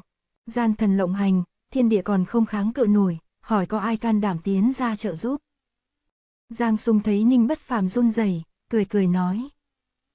Ninh Bất Phàm, người muốn đám người kia bình an qua ngày, chỉ cần chặt hai tay của mình, dùng chúng đổi lấy bình an chân chính cho Hoa Sơn. Ninh Bất Phàm mắt thấy các đệ tử đều nằm trong tầm ngắm của gian thần, chỉ có thể cười khổ nói. Dùng hai tay ta đổi lấy bình an cho toàn phái, nói thế nào cũng là một vụ buôn bán có lời. Tô Dĩnh siêu kiềm nén không được, thoáng chốc vọt ra, nhịn khóc nói. Sư phụ, chúng ta liều mạng thôi. Ninh bất phàm cười nói. Đứa nhỏ ngoan, chỉ cần lòng mang hiếu tâm là được, sư phụ đã rất vui, mau mau lùi lại đi. Môn nhân hoa sơn đồng loạt quỳ xuống đất, khóc nói. Trưởng môn, Quỳnh Võ Xuyên dù có ý ngăn trở nhưng thuộc hạ của Giang Sung cao thủ như mưa, kiên quyết ngăn không cho lão đi qua can thiệp. Có điều lão biết chỉ cần Ninh Bất Phàm ra tay phản kháng thì không ai cản nổi, lập tức lớn tiếng kêu lên. Bất Phàm, người thật sự muốn để yên cho người ta chặt tay sao? Người ra tay đi, bọn họ không làm gì được ngươi đâu. Giang Sung liếc xéo sang Quỳnh Võ Xuyên, cười nói. Quỳnh Quốc Trượng đừng giật dây nữa, hắn thiếu đi hai tay nhưng về sau vui vẻ tiêu dao, ngài đừng nói thêm mà hại chết hắn đó. Quỳnh Võ Xuyên tức giận nói. Ngươi, ngươi độc tài như vậy, ta, ta tuyệt đối không tha cho ngươi. Giang Sung cười ha hả nói. Giang Sung ta độc tài không phải ngày một ngày hai, Quỳnh Quốc Trượng nếu muốn sửa cho ta, xin cứ tùy tiện. Y phất tay quát. Ra tay. Đệ tử Hoa Sơn đồng loạt kêu lên. Chúng huynh đệ, mọi người hôm nay cùng giải máu khắp Hoa Sơn này, dù chết cũng không chịu nhục. Đám người an đạo kinh quát. Muốn chết nhanh thì lại đây. Đám người Tần Trọng Hải, Dương Túc Quan dù muốn xen vào nhưng giờ Linh Định bị trọng thương, thực lực đại giảm. Hơn nữa giao tình giữa Liễu Môn cùng Ninh Bất Phàm chỉ bình thường, không muốn xen vào vũng bùn này, đám này không nói được lời nào. Mắt thấy môn nhân Hoa Sơn bị người dùng súng ngăn lại. Các cao thủ khác chỉ cần hành động thiếu suy nghĩ, nhất định sẽ hại chết đám người Hoa Sơn, tất cả đều lực bất tòng tâm. Trong tình thế nguy cấp, Phương Tử Kính lại mỉm cười như không quan tâm đến chuyện đang xảy ra. Chỉ thấy khoe mắt lão chăm chú nhìn vào tấm biển có để bốn chữ kiếm Vũ Phi Dương, không biết phía sau có gì cổ quay nữa. Mắt thấy Giang dung từng bước bước. Bách, Ninh bất phàm sao có thể để người trong môn phái bị cuốn theo dòng nước giữa. Y lắc lắc đầu, cất cao giọng nói. Môn nhân Hoa Sơn nghe lệnh, hôm nay ta tự nguyện chặt đứt tay, toàn bộ mọi người lui xuống, không cần oán hận trong lòng. Y không để ý người trong môn phái, tự bước lên nói với Trác Lăng Chiêu. Trác trưởng môn, mời ngài chém hai tay ninh mỗ cho. Từ nay về sau ngài chính là thiên hạ đệ nhất. Trác Lăng Chiêu không hề mong muốn. Điều này, sắc mặt y ngưng trọng, lắc đầu nói. Trác mỗ tuy giết nhiều người nhưng không phải là hạng tiểu nhân hèn hạ, xin hỏi vì sao các hạ không đánh một trận? Chẳng lẽ xem thường ta sao? Mấy câu này vừa ra, mọi người gật gù thầm khen. Dù sao trác Lăng Chiêu vẫn còn có khí khái của người luyện võ, có điểm khác xa với Giang Sung. Ninh bất phàm lắc đầu thở dài, nói. Ta có nỗi khổ riêng, ngài chỉ cần chém một kiếm, không cần nhiều lời. Trác Lăng Chiêu thấy y tìm đủ cách trốn tránh, hừ một tiếng rồi nhìn mọi người trong sảnh, nói.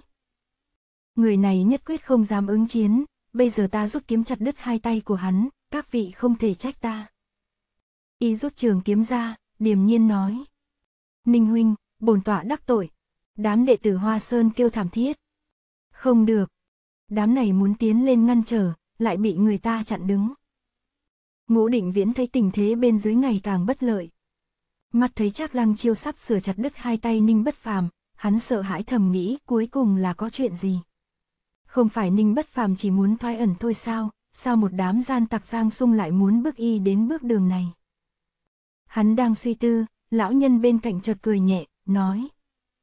Đến lúc chúng ta xuống rồi. Ngũ định viễn còn chưa đáp, thấy lão nhân nọ đã nhảy ra, thoáng chốc thân hình bay xuống dưới.